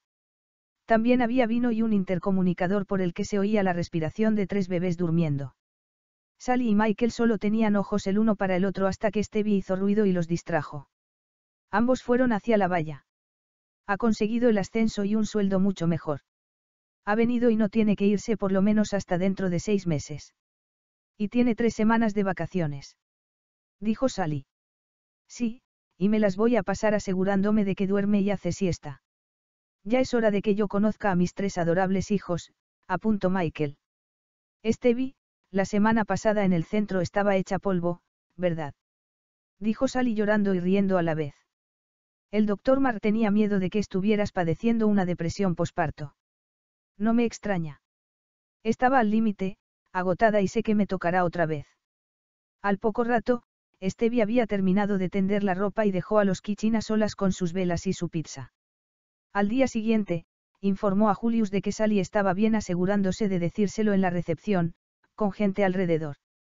Aún así, me pasaré dentro de una o dos semanas a verla. No me fío de los milagros, le dijo, feliz de las noticias. ¿Cómo que no te fías? La experiencia me dice que todo lo que merece la pena conlleva un gran esfuerzo. No puedes dar por hecho que algo está perdido o ganado. Estevi lo miró y bajó la mirada. Se refiere a nosotros. Me está diciendo que me he rendido demasiado pronto. Estevi dudó, bastaría decirle algo para que la invitara a salir, para hablar, para volverlo a intentar. Está haciendo que parezca culpa mía, me lo está echando encima. No es culpa mía. Podría haber sido sincero. No estoy de acuerdo, contestó mirándole a los ojos. A veces, seguir intentándolo es una locura y una pérdida de tiempo. Tienes que fiarte de tus sentimientos, dejar los errores atrás y mirar hacia adelante, dijo Stevie. ¿Eso es lo que crees? Sí. Muy bien, asintió y se fue a su consulta. ¿Qué pasaba? Quiso saber Ross. Un paciente, contestó Stevie diciendo la mitad a medias. Solo eso. Sin más o menos. Ese hombre me preocupa. Así. Stevie, es como si le hubiera pasado una apisonadora por encima. Hay algo que le tiene preocupado, está triste, cansado. Espero que no le dé una crisis nerviosa. Me parece un poco exagerado, no. A la gente le ocurre y a los médicos, también. Pero aún así. Stevie, no puede más. Si supiera quién le está haciendo esto, tendríamos unas palabritas. A Stevie le flojearon las piernas. Era cierto. Se lo veía abatido. Durante aquellos días, lo había visto mal y había sentido cierta satisfacción, pero en esos momentos sintió grandes remordimientos. Entonces, me quiere tanto como yo a él. Tendrá razón. No debería haberme dado por vencida. Debería haber hecho el esfuerzo de entender y perdonar. Por un lado, quería comprender y confiar, pero temía comportarse como una ilusa y resultar herida. Había muchos hombres que se aprovechaban de la buena voluntad de las mujeres que confiaban en ellos. Aún así, las palabras de Ross hicieron su efecto y Stevie pasó el resto de la semana y el fin de semana con menos pena y más esperanza. Capítulo 8. Julius miró la hora y parpadeó. Le dolía la cabeza. Eran las dos de la mañana y seguía en la mesa, luchando con la descripción de una de las fases más importantes de su investigación. No le salían las frases con fluidez, como era habitual en él. Apoyó la cabeza sobre la mesa. Un momento. Solo un minuto de descanso. Cerró los ojos. Había decidido trabajar hasta las tres y había puesto el despertador a las ocho de la mañana. Si conseguía seguir a ese ritmo, en un mes, terminaría el trabajo. Entonces, y solo entonces, intentaría hablar con Stevie. Solo entonces le haría promesas porque sabría que podría cumplirlas y le contaría, si ella le dejaba, todos los detalles de su larga, compleja y enfermiza relación con Irene. Le pareció una buena decisión. No iré a Stevie hasta que mi doble vida haya terminado. Tengo que resolverla. Por eso tengo que trabajar. Tengo que terminar esto. Aquello le motivó mucho más que todas las fechas de entrega de todas las revistas del mundo. Debo solo un minuto más y luego, tengo que levantar la cabeza. A los pocos segundos, estaba dormido y cuando se despertó eran las cuatro. Le dolía todo el cuerpo, la cabeza le estallaba y se dio cuenta de que lo más inteligente era irse a la cama. En vez de eso, se tomó un par de analgésicos y siguió. Al amanecer, lo tenía terminado. Siento hacerte esto, dijo Aime y Yarda Stevie a las cinco del martes. No pasa nada. Vete a casa porque tienes mala cara, contestó Stevie dándose cuenta de que Aime estaba empezando a agarrar un buen constipado. Sé que no te tocaba quedarte a ti hasta tarde hoy y ahora resulta que vas a tener que quedarte a cerrar. No pasa nada. Aime estaba preocupada porque aquella noche había seminario y no estaba muy segura de Stevie. Stevie también tenía sus dudas. No sabía qué le parecería al doctor Mkinnon que le hubieran cambiado a una enfermera con experiencia por una recepcionista que hacía mucho tiempo había hecho un año de enfermería. Si me ve que estoy nerviosa, no se irá a casa. No se debe dar cuenta. Está fatal, incluso tiene fiebre. Vete, Aime. Cenaré por aquí cerca y a las siete y media estaré de vuelta para el seminario. A las siete y cuarto, corrigió Aime. Siempre hay que preparar cosas. Muy bien, a las siete y cuarto, prometió Stevie. Al final, Aime quedó convencida y se fue. Hubo muchos pacientes de cinco y media a seis, pero Katy se había llevado la cena, así que Stevie pudo salir a comprar unos espaguetis con gambas en un local cercano al centro. Eran las siete menos cuarto. Se lo comió a toda velocidad en la sala de reuniones y preparó la habitación según las indicaciones del doctor McKinnon, que no habían sido muy precisas. De los siete médicos del centro, Cameron McKinnon era con el que menos relajada se sentía. Era una cosa suya, seguro, porque se llevaba estupendamente con todo el personal, pero era tan joven, tan amable, tan listo.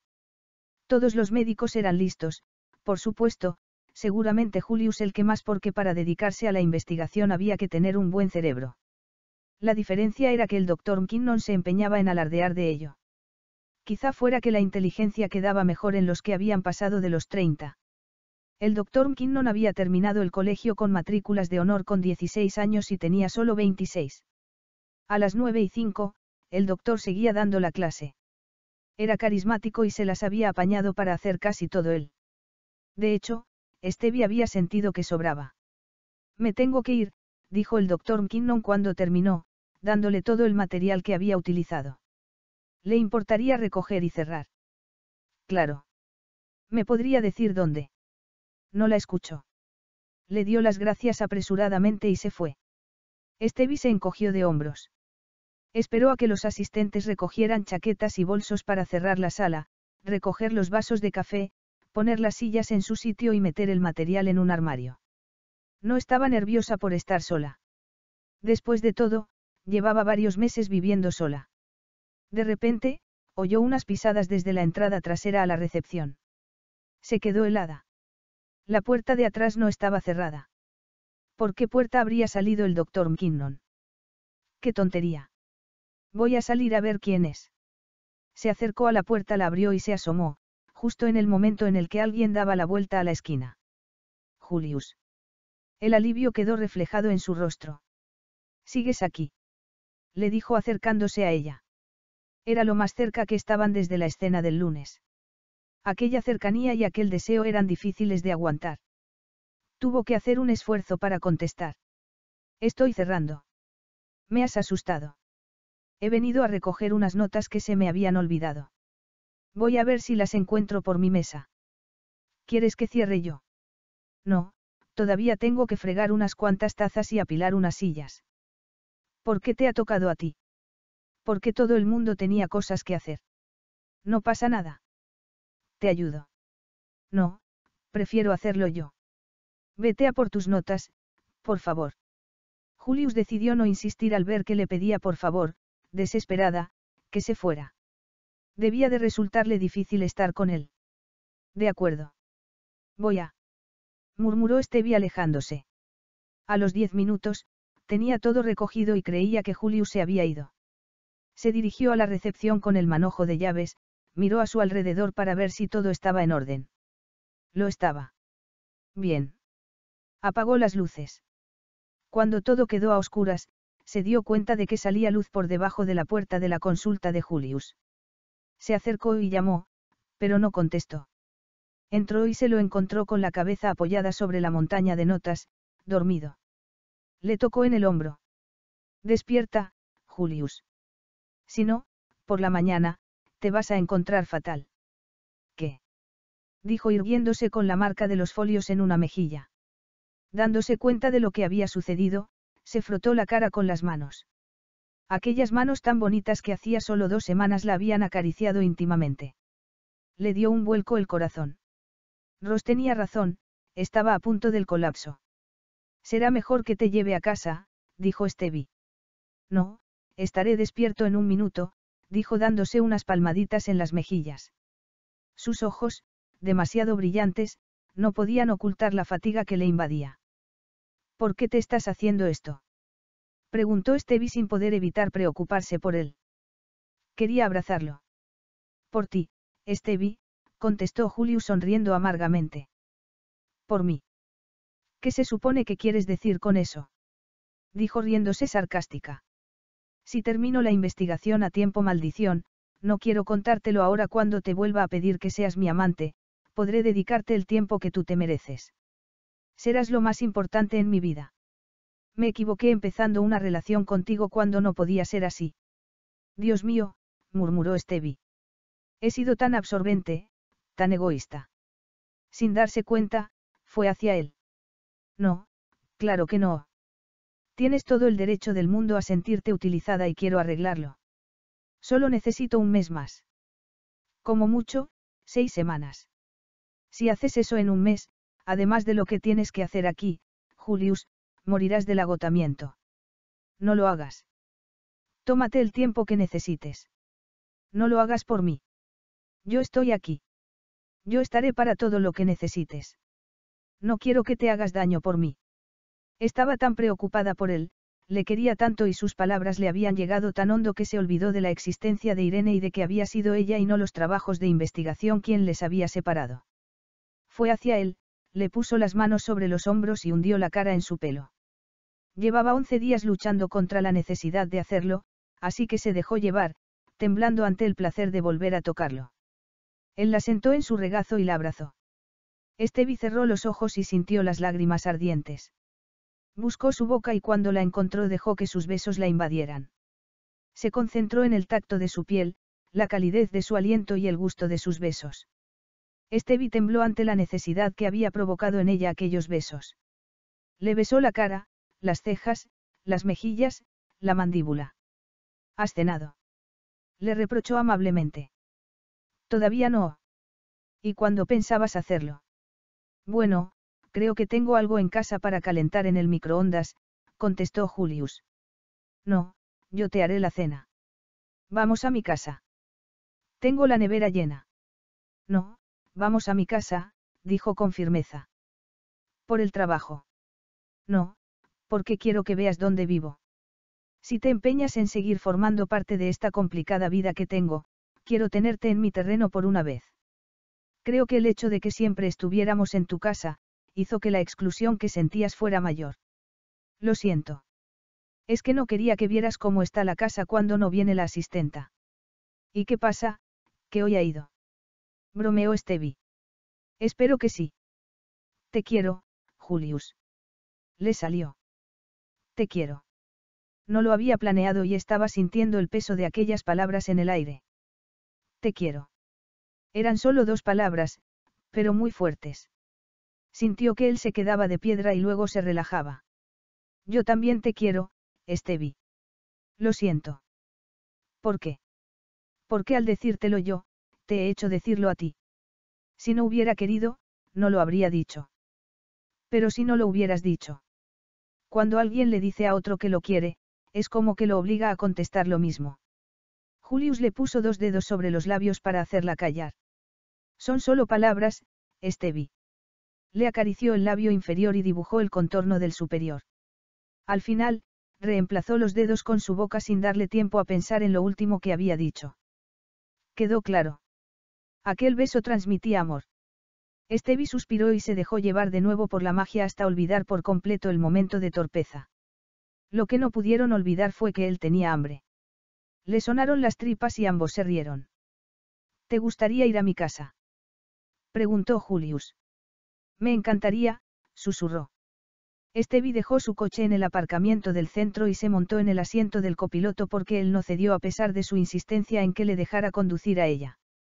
La noche era fresca y sintió cierto frío en las piernas.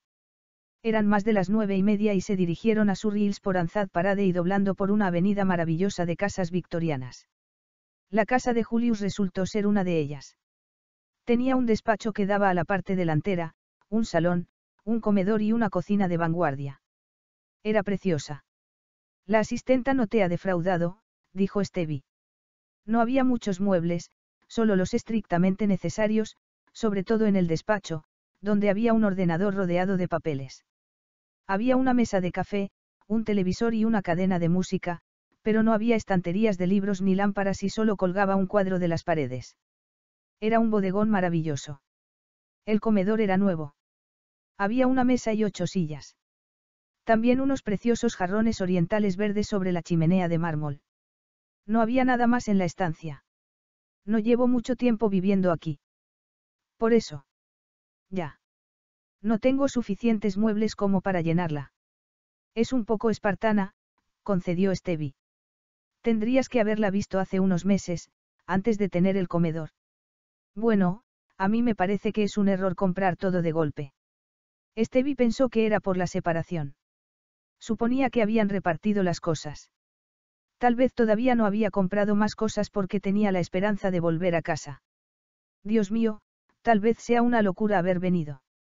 Nada ha cambiado. Irene sigue siendo un gran elemento en su vida, y los niños. ¿Cómo será la parte de arriba? ¿Habrá camas para ellos? Vendrán los fines de semana. ¿Puedo con ello? Muchas mujeres lo hacen. Estoy siendo terriblemente egoísta. Estamos tan bien juntos, lo quiero tanto, no puedo esperar que una relación sea perfecta. Julius es la miel y la vida que tuvo con Irene es el aguijón. Si vuelvo con él, debo pedirle que me lo cuente todo. Ha intentado hacerlo, pero yo no le he escuchado. Tengo que saber cómo están las cosas. Al menos, esto demuestra que ha terminado realmente. No vive con ella. Pero hoy no se lo voy a preguntar esta noche, no. Julius estaba en la cocina, abriendo cajones y mirando en la nevera. Estaba claro que no tenía ni idea de qué hacer para cenar. Estevi se olvidó de Irene. Estaba con él y eso era lo importante. Además, hacía media hora le había dicho que la quería. ¿Qué más podía pedir? Hay de todo, dijo Julius. Cuando sé que voy a estar en casa, le digo que me deje algo hecho y que compre cosas, añadió. A Estevi le costó un momento de sufrimiento darse cuenta de que estaba hablando de la asistenta y no de Irene. Me muero de hambre, pero ¿qué podemos hacer a estas horas? Ya lo hago yo. Tú relájate. Siéntate y descansa y yo lo haré. Ponte una copa o date un baño o algo. Un baño. Nunca he utilizado la bañera de esta casa aunque llevo aquí seis meses, se rió. La señora Ferguson se afana todas las semanas en sacarle brillo. La verdad es que tiene muy buena pinta. Pues, date un baño, insistió. Ya cocino yo. Julius no protestó. No sé si te merezco, dijo besándola. Despiértame cuando esté la cena lista. ¿Vas a dormir? No, me voy a dar un baño, pero seguro que me quedo dormido. Este vino lo creyó, pero cuando media hora después tuvo listo un buen filete, unas patatas asadas y una ensalada de aguacate, tomates, alcachofas, aceitunas y lechuga, fue arriba, encontró el baño y descubrió que no había exagerado. Por segunda vez aquel día, se encontró a Julius dormido. Daba gusto ver a aquel hombre tan grande, tan masculino, metido en el agua, con la boca medio abierta y los ojos cerrados, aquellos hombros contra la porcelana blanca. Se acercó y se sentó en el borde de la bañera. Lo observó y comenzó a pasarle los dedos por las cervicales. No se despertó. Le acarició el pelo, la mandíbula y otra vez las cervicales, el pecho. Me he vuelto a quedar dormido, no. Como un tronco. Tienes la cena lista, así que si no quieres que el filete. Filete. Estevi se rió y lo dejó para que se vistiera mientras ella servía el filete en un plato y aliñaba la ensalada. Cinco minutos después, él estaba comiendo con avidez mientras ella lo observaba tomándose una copa de vino tinto. Era una gozada observar al amado comiendo, sintió un repentino gozo sensual.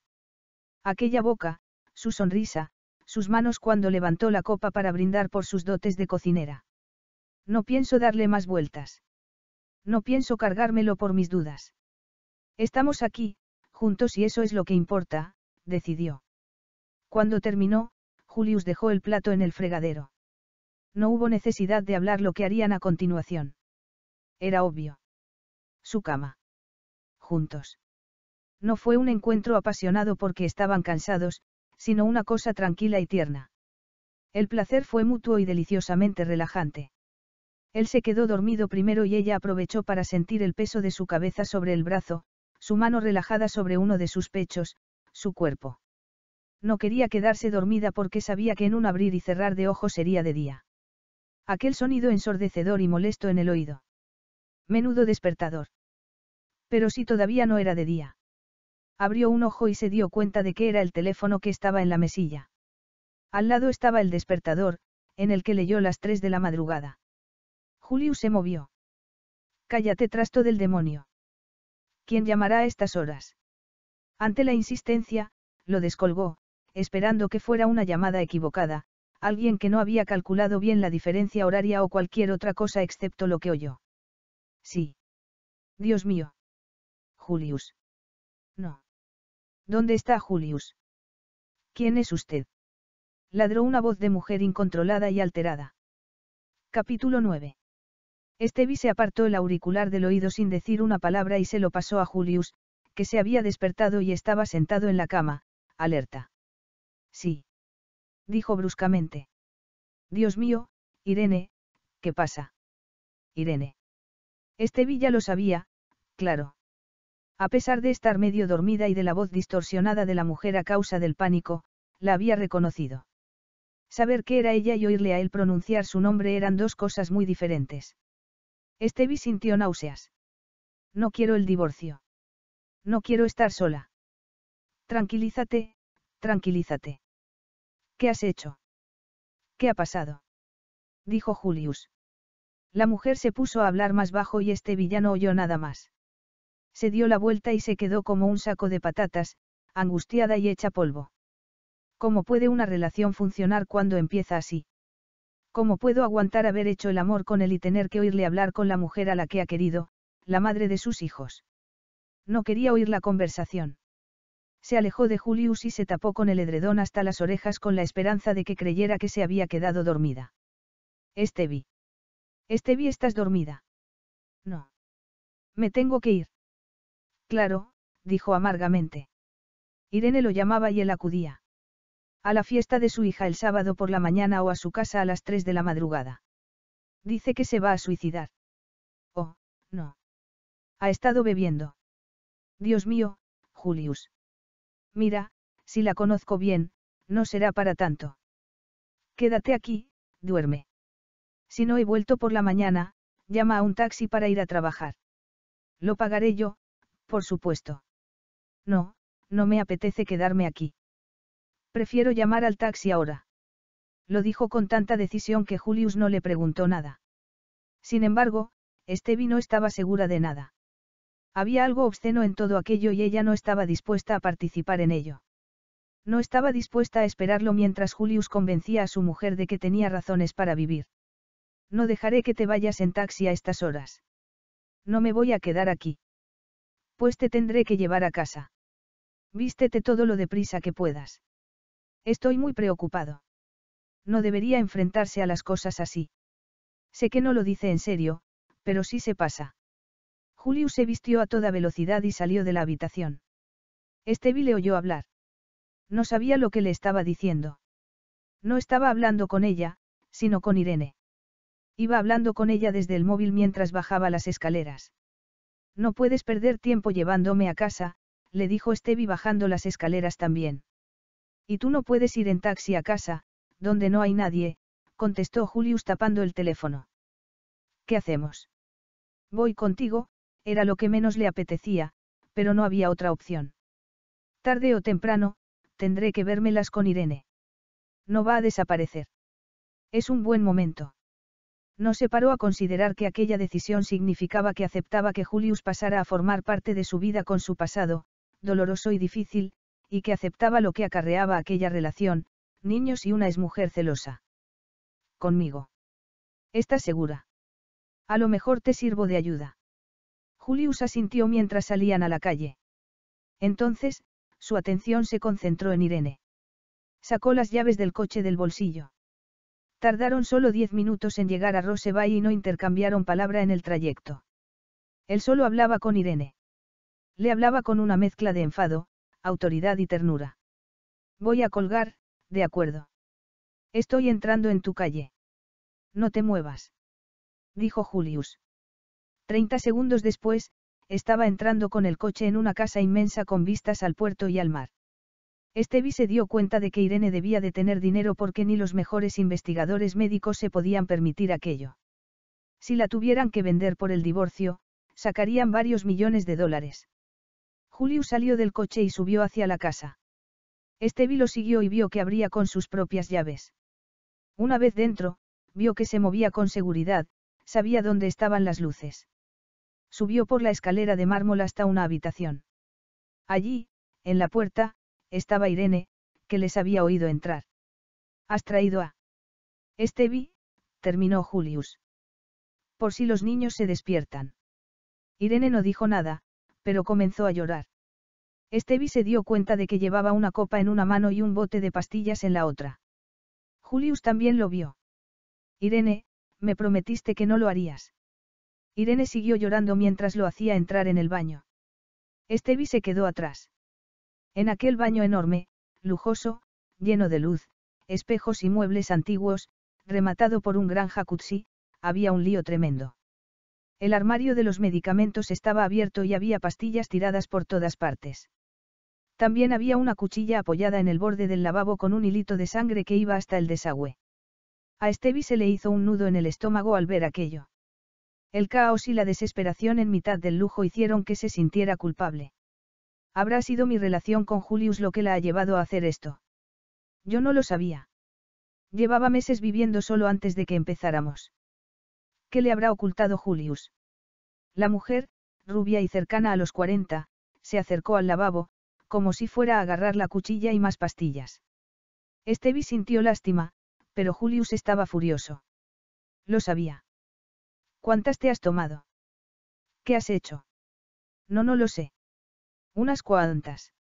Iba a tomar más, pero se me cayeron porque me temblaban las manos. Por eso tampoco pude usar la cuchilla, se le quebró la voz.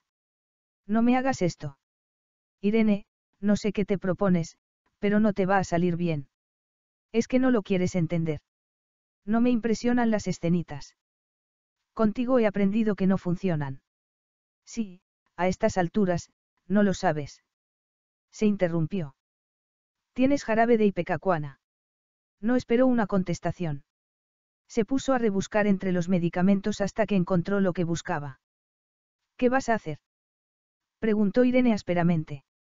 Si tú te empeñas en comportarte como una cría, yo te trataré como tal. Te vas a tomar esto para vomitar. No tiene cuchara. Estevi, ¿te importaría traer una de la cocina y un vaso de zumo? ¿Dónde está la cocina? Está al final del pasillo que hay bajo las escaleras. Es una puerta doble. Estevia sintió y se fue sin decir palabra. Estaba demasiado asombrada. Se había comportado como un bruto con Irene. Como un auténtico bruto. Como aquella hubiera sido la tónica de su matrimonio. ¿Qué estoy haciendo enamorada de un hombre así, un hombre que ha llevado a su mujer a hacer esto? Encontró la cocina y, tras abrir y cerrar varios armarios y buscar por el enorme frigorífico, tenía la cuchara, el vaso y el zumo. Subió y se encontró con que el ambiente había cambiado en el baño. Ya no había pastillas tiradas por ahí e Irene estaba más tranquila, se mostraba casi como un corderino. Estaba sentada en el borde del jacuzzi y Julius estaba a su lado, abrazándola con ternura. Por amor del cielo, Irene, si quieres montar una escena así hazlo por Gary, no por mí.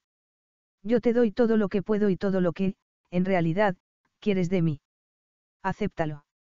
Le dijo Julius con voz cálida llena de preocupación.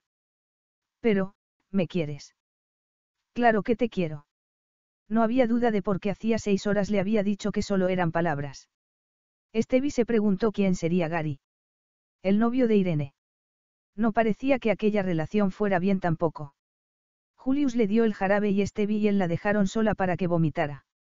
A Estevi le incomodó quedarse a solas con él en aquellos momentos, en los que no veía muy claro el futuro de su relación y en los que quererlo se había convertido en una especie de enfermedad.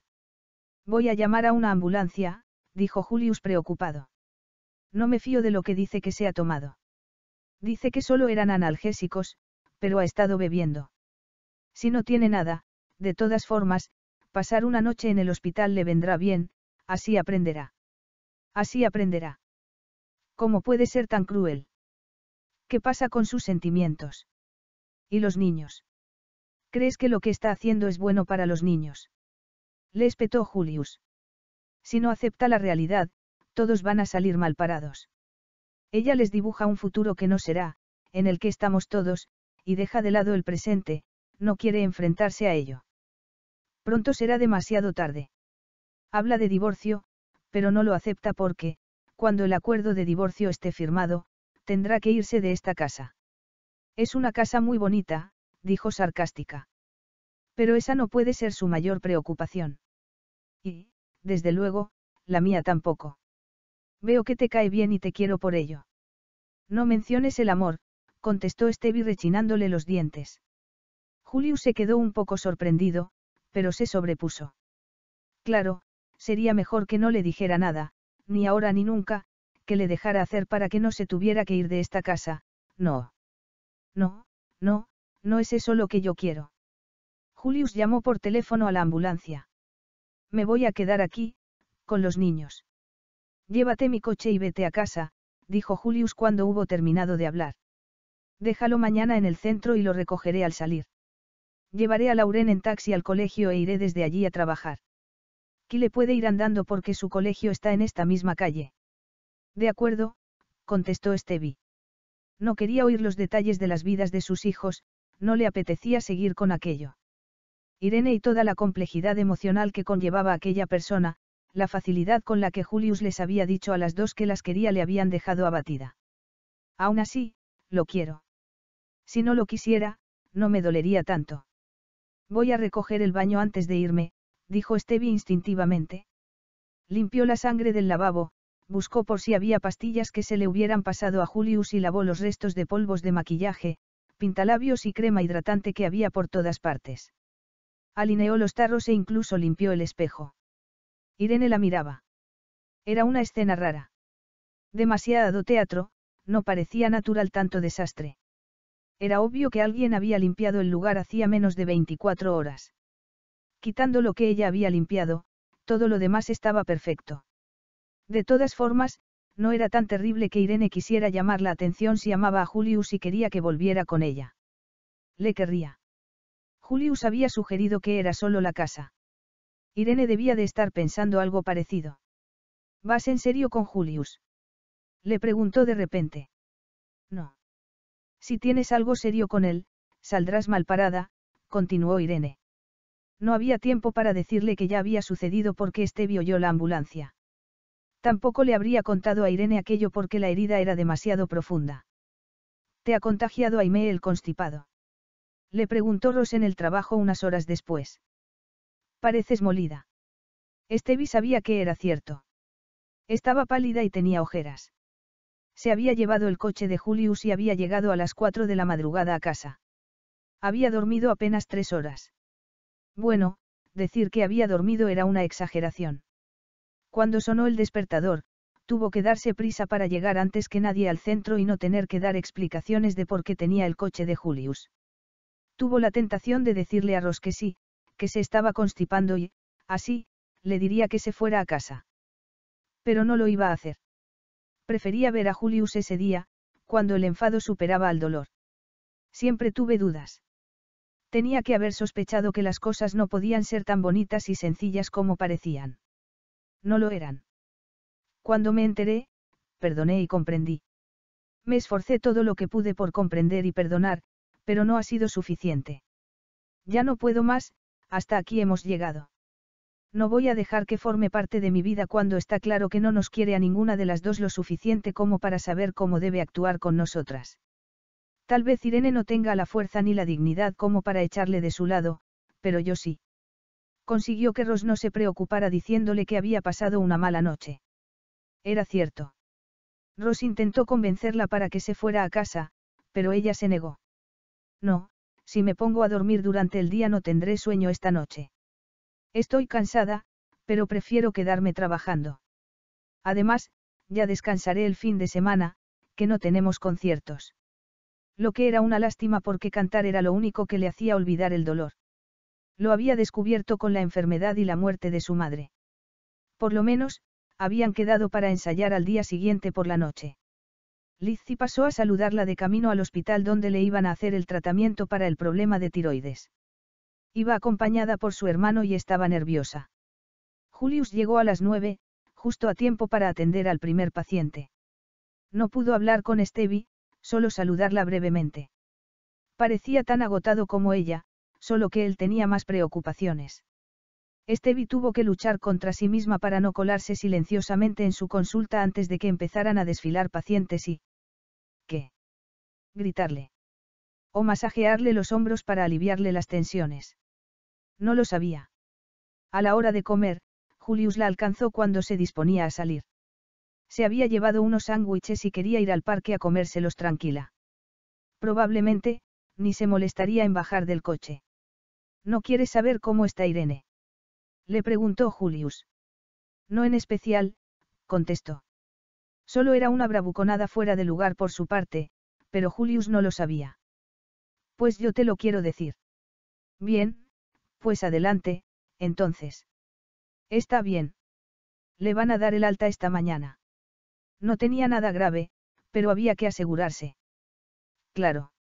Irene tiene la manía de montar este tipo de números. Es como el cuento del pastor y el lobo y me da miedo no hacerle caso por sí, justo esa vez, le pasa algo. Te digo de corazón que... Mira, lo interrumpió, no te creas que me gusta ver cómo das de lado a la persona que una vez, y parece que todavía, fue una parte importante de tu vida. No me hace ninguna gracia. Lo encuentro repelente. Gracias a Dios que me he dado cuenta antes de que me lo hicieras a mí. Estevi. Dijo pálido. No te excuses. No lo hago. ¿Crees que es desleal hacia mí? Desleal no es la palabra, Julius, concluyó Estevi subiendo la ventanilla del coche y alejándose. Julius siguió el coche con la mirada. Estaba enfadado y algo más, algo más profundo. Aquella noche fue a casa de Estevi. Ella no se sorprendió demasiado. Estuvo a punto de no abrirle, pero decidió que se lo debía. Le abrió la puerta y se quedó allí, sin invitarle a pasar. Ni siquiera quieres que hablemos de ello. Dijo Julius. No, lo digo en serio. No me interesan tus explicaciones. Pero si ayer estábamos haciendo el amor. Te mostraste tan tierna como una esposa, haciéndome la cena y despertándome cuando me quedé dormido en la bañera. Como una esposa. No, gracias. Contestó mordazmente. Estevi, hicimos el amor y fue fabuloso. Entonces, no pensabas así. Sí, Irene. Se interrumpió para decirlo con prudencia. Si su llamada pidiendo ayuda ha cambiado las cosas entre nosotros tan drásticamente, creo que tengo derecho a saber cómo y por qué. ¿No te ha quedado claro? Cómo la trataste, me hizo verte de una manera que yo imaginaba imposible. Ya, pero si hubiera hecho lo que ella quería, tampoco tendrías un hueco para mí en tu vida, Estevi. No sé si eres tan generosa. No soy nada generosa en lo que respecta a ti, Río. Te metería en mi vida, con pasado y todo, si supiera que no me ibas a tratar como a Irene, pero esta noche me has demostrado que no sería así. Te equivocas, insistió Julius. Podría repetírtelo hasta hartarme. No me vas a dar la oportunidad de demostrártelo verdad. No. Estevi esperaba que él dijera algo más, pero no lo hizo. Se limitó a apretar la mandíbula, darse la vuelta e irse. Temblando, cerró la puerta, y un minuto después oyó su coche que se alejaba. Supuso que, técnicamente, había ganado. Había hecho lo que quería, acabar con aquella relación. Ella había dicho la última palabra. Entonces, ¿por qué se sentía tan derrotada? Capítulo 10. Estevi, tienes la voz muy mal, dijo Alex. Era jueves por la noche y se habían reunido en casa de Estevi para componer dos nuevas canciones. No te estarás acatarrando, no. Estás hecha polvo. Como alguien más me vuelva a decir eso. Se interrumpió. No valía la pena enfadarse. No, no me estoy acatarrando, pero llevo unos días durmiendo mal. Tengo dolor de espalda, improvisó, no sé si será ciática. Tendré que ir al médico. Pobrecilla. ¿Quieres que lo dejemos? De todas formas, no podemos terminarla sin Liz. Por cierto, ¿qué tal está, Estevi? Preguntó Alison. ¿Por qué no ha podido venir? Pasé por su casa esta tarde después del trabajo y me la encontré tumbada en el sofá leyendo una revista. Creo que es la primera vez que la veo descansando. Lo de la tiroides le ha venido bien para hacer un parón. Eso que he visto antes en la cocina, era un folleto de enfermería. Sugirió Alex. Estás pensando en terminar tus estudios. Me parece una idea estupenda. Alison y Jenny estuvieron de acuerdo. Estevi tuvo que hacer un esfuerzo para disimular la vergüenza. No se lo había dicho a nadie porque no sabía si a los 40 era el momento de empezar cosas nuevas. Hacía unas semanas, cuando había empezado con Julius, creía que sí, pero en esos momentos lo dudaba. Hacía 15 años, había dejado enfermería sin terminar. Quizá fuera su destino. Tener una vida incompleta, en la que las cosas se interrumpieran sin que les diera tiempo a florecer. Por Dios, no te recrees en el dolor. Voy a necesitar vuestra ayuda porque supongo que habré perdido el hábito de estudio y tendré que ir a clase. Sí, me voy a matricular para el curso que viene. Julius, ¿no lo has visto? Irene llamó a Julius el jueves a las nueve de la noche. ¿Qué? Contestó Julius que estaba en casa rodeado de papeles y con música clásica de fondo. No le sorprendió ver que había cambiado de estado de ánimo. Cuando le habían dado el alta, le había dicho que se iba a quedar descansando en casa y a él le había parecido bien. A pesar de que estaba enfadado con ella, sabía que se merecía un buen descanso. Irene parecía indignada, pero también estaba emocionada. Sabía de dónde venía aquella emoción. Esperaba no haberle prometido demasiado el día anterior. Le había dicho que había hablado con Gary, que estaba en Perth, y que éste se había mostrado muy preocupado, había dicho que tal vez su conducta no había sido la más correcta y que la echaba de menos. Quizás no debería habérselo dicho. Si Irene alberga demasiadas esperanzas y cree que no tiene que poner nada de su parte. ¿Qué va a ser? El último número de la revista de Peter Arkness. No, no lo he visto. ¿Por qué? Porque un medicucho de una universidad americana se nos ha adelantado y ha publicado un trabajo igual que el nuestro este mes. Por eso. Julius sintió una punzada de pánico. Irene, cuéntame exactamente qué ha pasado, desde el principio. Mientras Irene le contaba de qué trataba el artículo y le leía párrafos enteros, Julius fue hacia el montón de correo que tenía sin revisar. Encontró la revista y el artículo en cuestión. Como siempre, Irene había exagerado. Era cierto que el área de investigación de aquel doctor Morton Nederlander coincidía con la que Irene y él llevaban mucho tiempo trabajando, pero no eran tan malas noticias. En realidad, eran las mejores noticias que había oído en mucho tiempo. Se le había adelantado, con lo cual él ya no tenía que respetar la fecha de entrega de la revista.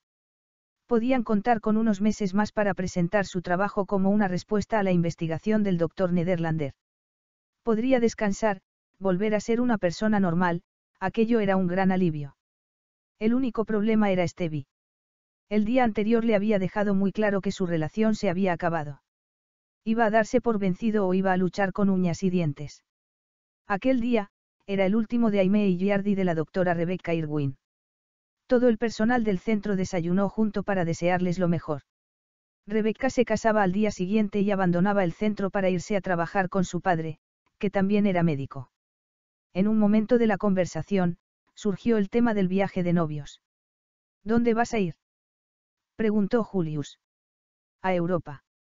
Ninguno lo conocemos y como tenemos cuatro semanas. Tú nos podrías aconsejar algún sitio, Julius. Estevi deseó no estar en aquella conversación, pero ya era demasiado tarde. Se dio cuenta de que parecía menos cansado y como más decidido. No le gustaba nada estar pendiente de él ni que sus miradas se encontraran. El miércoles, parecía haber aceptado la ruptura, pero aquella mañana parecía dispuesto a plantar batalla. No creo que te sea de mucha ayuda. Lo único que conozco de Europa son las instalaciones de conferencias de Ámsterdam, Milán, Edimburgo y Burdeos. No has estado en París. Dos horas de escala en el aeropuerto de Orly. Y en Londres. Cancelaron la conferencia que tenía allí. La Toscana. Había nubes cuando la sobrevolamos, pero, de todas formas, iba leyendo. Eres sorprendente, Julius. Se rió Rebeca. ¿Por qué no he visto Europa en condiciones? ¿Por qué no parece importarte? No me importa. Parece como si te estuvieras prácticamente riendo del que eras antes.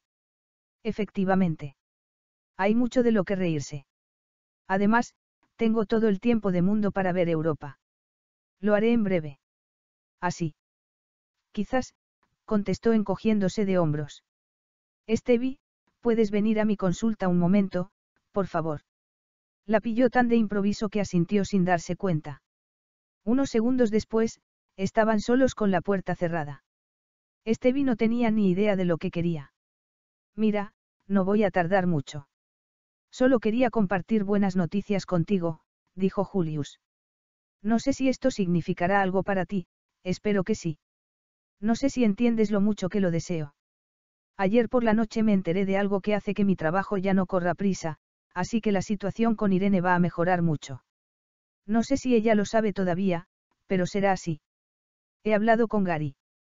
Se mostró muy preocupado por cómo se ha estado comportando Irene últimamente y está reflexionando sobre la situación. No me sorprendería que... Se interrumpió. Bueno, eso a ti y a mí nos da igual. Julius, no hay tú y yo. No hemos hablado ya de ello. Muy bien, este no es lugar apropiado. Si no te importa, tengo que trabajar. Sí, claro. Lo único que espero es que te alegres de que las tensiones se hayan reducido. ¿Solo eso? Sí, sí, claro, contestó Stevie preguntándose cómo era posible que le siguiera importando tanto aquel hombre. No podía impedirlo. Le gustaba verle cargado de energía, renovado. La mañana fue transcurriendo. Todo alrededor de Stevie era alegría y cambio. Rebecca estaba radiante de felicidad. Llevaba el orden de consulta con retraso porque había tenido que atender tres llamadas sobre la boda. Iba a ser una boda pequeña, pero aún así. ¿En qué estaríamos pensando cuando contratamos al cuarteto de cuerda? Le dijo Rebecca a Stevie. Cuando Stevie se disponía a irse a comer a la una, entró una rubia con tacones. Era Irene. Por suerte, estaba Ross Reynolds en la recepción. Buenos días. ¿Tiene usted cita? Preguntó Ross. Más o menos. He venido porque he quedado para comer con Julius Marr, sonrió Irene. ¿La está esperando? Sí. Soy su antigua compañera de investigación de la universidad, Irene vio a Stevie, que iba con un montón de fichas en las manos, aunque espero ser pronto su prometida. Ah, enhorabuena, contestó Ross. Espero que sean muy felices. Irene. Dijo Julius conteniendo su ira. Nadie lo había visto hasta que no había abierto la boca, pero había oído lo que había dicho Irene y había visto la cara de Stevie. Estaba rígida, sin expresión en la cara, confundida, más que sorprendida. Se había quedado como un boxeador que espera un golpe en la mandíbula y lo recibe en el estómago.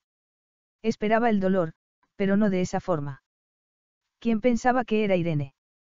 No tenía sentido aunque las piezas estaban empezando a encajar. Si hubiera sido un hombre violento, habría gritado a Irene. Su prometido. No se había dado cuenta de que lo último que quería era casarse con ella. Evidentemente, no. Aquella mujer necesitaba un hombre a su lado tanto como el aire que respiraba. Cuando la noche anterior le había dicho que le parecía un alivio que el doctor Nederlander hubiera publicado antes, Irene le había propuesto que quedaran a comer para celebrarlo. Había aceptado porque le apetecía celebrarlo, pero no lo habría hecho si hubiera sabido que iba a llegar al centro así, dándole a Stevie una impresión errónea sobre su relación. Volvió a pensar en Stevie y se dio cuenta de que realmente ella creía que tenían algo. ¿Qué cree exactamente y por qué? Irene lo estaba esperando. Quería hablar con ella desesperadamente sobre Gary. Todavía no había llegado el momento de volver con Stevie. ¿Llegaría algún día? No, si ella no quería. Vamos, Solo tengo una hora y tenemos mucho de lo que hablar, dijo Julius angustiado ante aquella posibilidad. Te he contagiado el resfriado, ¿verdad? Le preguntó Aime a Stevie casi una hora después. ¿Por qué no te vas a casa a descansar? Te las podrás apañar tú sola. Sí.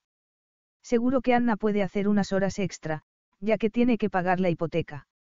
De acuerdo, contestó Stevie. Le dolía terriblemente la cabeza, no tenía hambre y estaba mareada. Lo más sensato era irse a casa. Una hora después, estaba en la cama, con las persianas bajadas, esperando a que dos analgésicos le hicieran efecto. Ojalá también sirvieran para el dolor no físico. Sin darse cuenta, se quedó dormida. Horas después, se levantó atontada porque alguien estaba llamando insistentemente al timbre. Era Julius. Aime me dijo que te habías venido a casa porque estás resfriada, dijo entrando sin que a Stevie le diera tiempo de cerrarle la puerta en las narices. Creo que solo era un dolor de cabeza. Me encuentro mucho mejor. Pues no lo parece. Estaba durmiendo. Y todavía lo estás. Enseguida estaré bien. Refréscate en el baño mientras yo te preparo algo. ¿Te o prefieres uno de esos gin tonics tuyos? Te, por favor, contestó pensando que no necesitaba alcohol para avivar el enfado que tenía con él. Se lavó la cara para despejarse. Cuando entró en la cocina, le dio un vuelco el corazón al ver que Julius se movía por la estancia con familiaridad. Estaba anocheciendo y había encendido la luz. Estaba poniendo agua a hervir en la tetera de su madre, de porcelana con florecitas rosas y amarillas. Aquella cocina era demasiado femenina, pero le quedaba bien. Lo había encontrado todo, incluso la leche y las tazas. Le estaba sonriendo. ¿Cómo le gustaba aquella sonrisa? Aunque estaba teñida de algo vulnerabilidad. El hecho de que lo mostrara abiertamente, hizo que Stevie sintiera deseos de rendirse. Lo único que la podía mantener en su lugar era el enfado. Julius, si hay una buena razón para que hayas venido, dímela, y, si no, por favor, vete. Leche. Preguntó ignorándola. No hagas eso, por favor, no intentes jueguecitos de palabras. Julius dejó el té y fue hacia ella. Stevie decidió que no se dejaría convencer. No hay juegos, Stevie, pero hoy me he dado cuenta de que te has formado una idea errónea sobre Irene y yo. ¿Eh? No, déjame que te lo cuente. Estaba muy cerca, pero no la había tocado. Tú crees que soy el padre de sus hijos, ¿verdad? Que llevamos años juntos. Hoy, me ha confesado, que hace dos semanas esa fue exactamente la idea que te dio por teléfono. Lo hizo adrede. Sé que resulta muy fácil de creer porque estamos muy unidos. Así que admites que... No admito nada. Déjame que te cuente todo. Se impuso Julius. De acuerdo. Irene y yo fuimos compañeros de investigación durante 12 años. Muy bien, dijo Stevie con impaciencia. ¿Quieres que me crea que esa es la única relación que teníais? No. Claro que no. Yo estaba enamorado de ella, eso creí durante siete años. Ella lo sabía. Yo estaba demasiado metido en la medicina para darme cuenta. No sé si lo entiendo. Ella estaba casada con Gary, Stevie, que es un hombre de negocios muy rico y muy buena persona, continuó Julius hablando deprisa como con ganas de terminar con todo aquel asunto tan complejo. Ella lo quería y lo sigue queriendo, pero cometió el error de creer que siempre lo iba a tener ahí e intentó tenerme a mí también. Me cuesta imaginarte así, dijo Stevie suspicaz. He cambiado, Stevie. Entonces, era el típico científico metido en su trabajo. No tenía tiempo para dedicarme a otra cosa. No me relacionaba con mujeres. No tenía vida privada. Irene y yo trabajábamos muy bien juntos. Ella es muy inteligente, a pesar de sus cambios de humor, sonrió. Le resultaba muy fácil tenerme comiendo de su mano. Fácil y útil, también.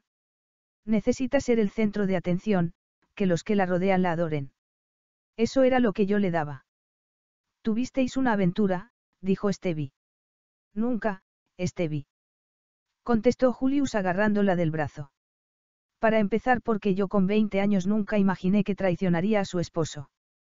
Nunca la toqué. Ella a mí, sí, volvió a sonreír. Me tocaba para mantener avivado el fuego. Yo no me daba cuenta. Entonces, paulatinamente, no sé cómo ocurrió, maduré, supongo. Mis padres murieron. Me empecé a descubrir a mí mismo. La relación con Irene cambió. Julius tenía los brazos alrededor de Stevie, que lo miraba, absorbiendo lo que le estaba diciendo, sin reaccionar, sin poder evitar, por otra parte, sentirse tan bien con su cercanía, con su aroma, que el cielo la ayudara. Seguí teniendo en gran consideración su inteligencia y su trabajo, continuó Julius, y así sigue siendo hoy en día. Sin embargo, comencé a cuestionarme mi vida, lo que hacía, y me di cuenta de que no era feliz. No me gustaba quién era, no me gustaba pasarme todo el día trabajando, en la universidad, y llegar a un apartamento vacío, que Irene ridiculizaba a menudo. Lo ridiculizaba. Sí, decía que estaba desordenado, que era feo y no tenía muebles, solo algunos libros y papeles y nada en la nevera. Entonces no me daba cuenta. Estaba demasiado ocupado trabajando y lamiéndome las heridas por estar enamorado de una mujer que nunca sería mía, una mujer que no resultó ser como yo creía. Todo terminó hace tres años. Dejó a su marido. No.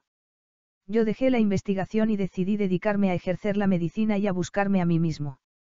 Hice un curso de reciclaje y me hice médico de cabecera. Ya sabes el resto. El único problema era que había un enorme estudio comparativo que habíamos empezado y no habíamos acabado. No podía dejarlo, pero me moría de ganas por verlo terminado. Irene me instó a que me dejara llevar por mis instintos y a que dejara la investigación si eso era lo que yo quería. En eso fue muy generosa. Lo único que me pidió fue que le ayudara al final del trabajo a escribir unos cuantos artículos sobre los resultados de la investigación, pasarlo a ordenador y revisar un poco las gráficas. Estoy seguro de que lo dijo de corazón. Al fin y al cabo, al irme yo, ella se convertía en la jefa de la investigación. No es mala persona. Estas últimas navidades, su matrimonio se rompió. Hasta ayer por la noche, que hablé con él, no sabía por qué. Está en Perth. Ella estaba teniendo una aventura con su nuevo ayudante de investigación. Supongo que no pudo aguantar tener un hombre cerca sin seducirlo. No duró. El ayudante se fue y Gary se enteró de todo. Él es un hombre de principios que quería de verdad a Irene. Aquello le dolió mucho, así que aprovechó que tenía un proyecto en Perth para poner tierra entre ellos dos. Y se van a divorciar. Parece que eso es lo que Irene quiere. No, no quiere eso. Ni por asomo, pero le ha costado unos meses darse cuenta. La noche de lo de las pastillas, intenté hacérselo ver. Ya me acuerdo. Le dijiste que le montara los numeritos a Gary, no a ti.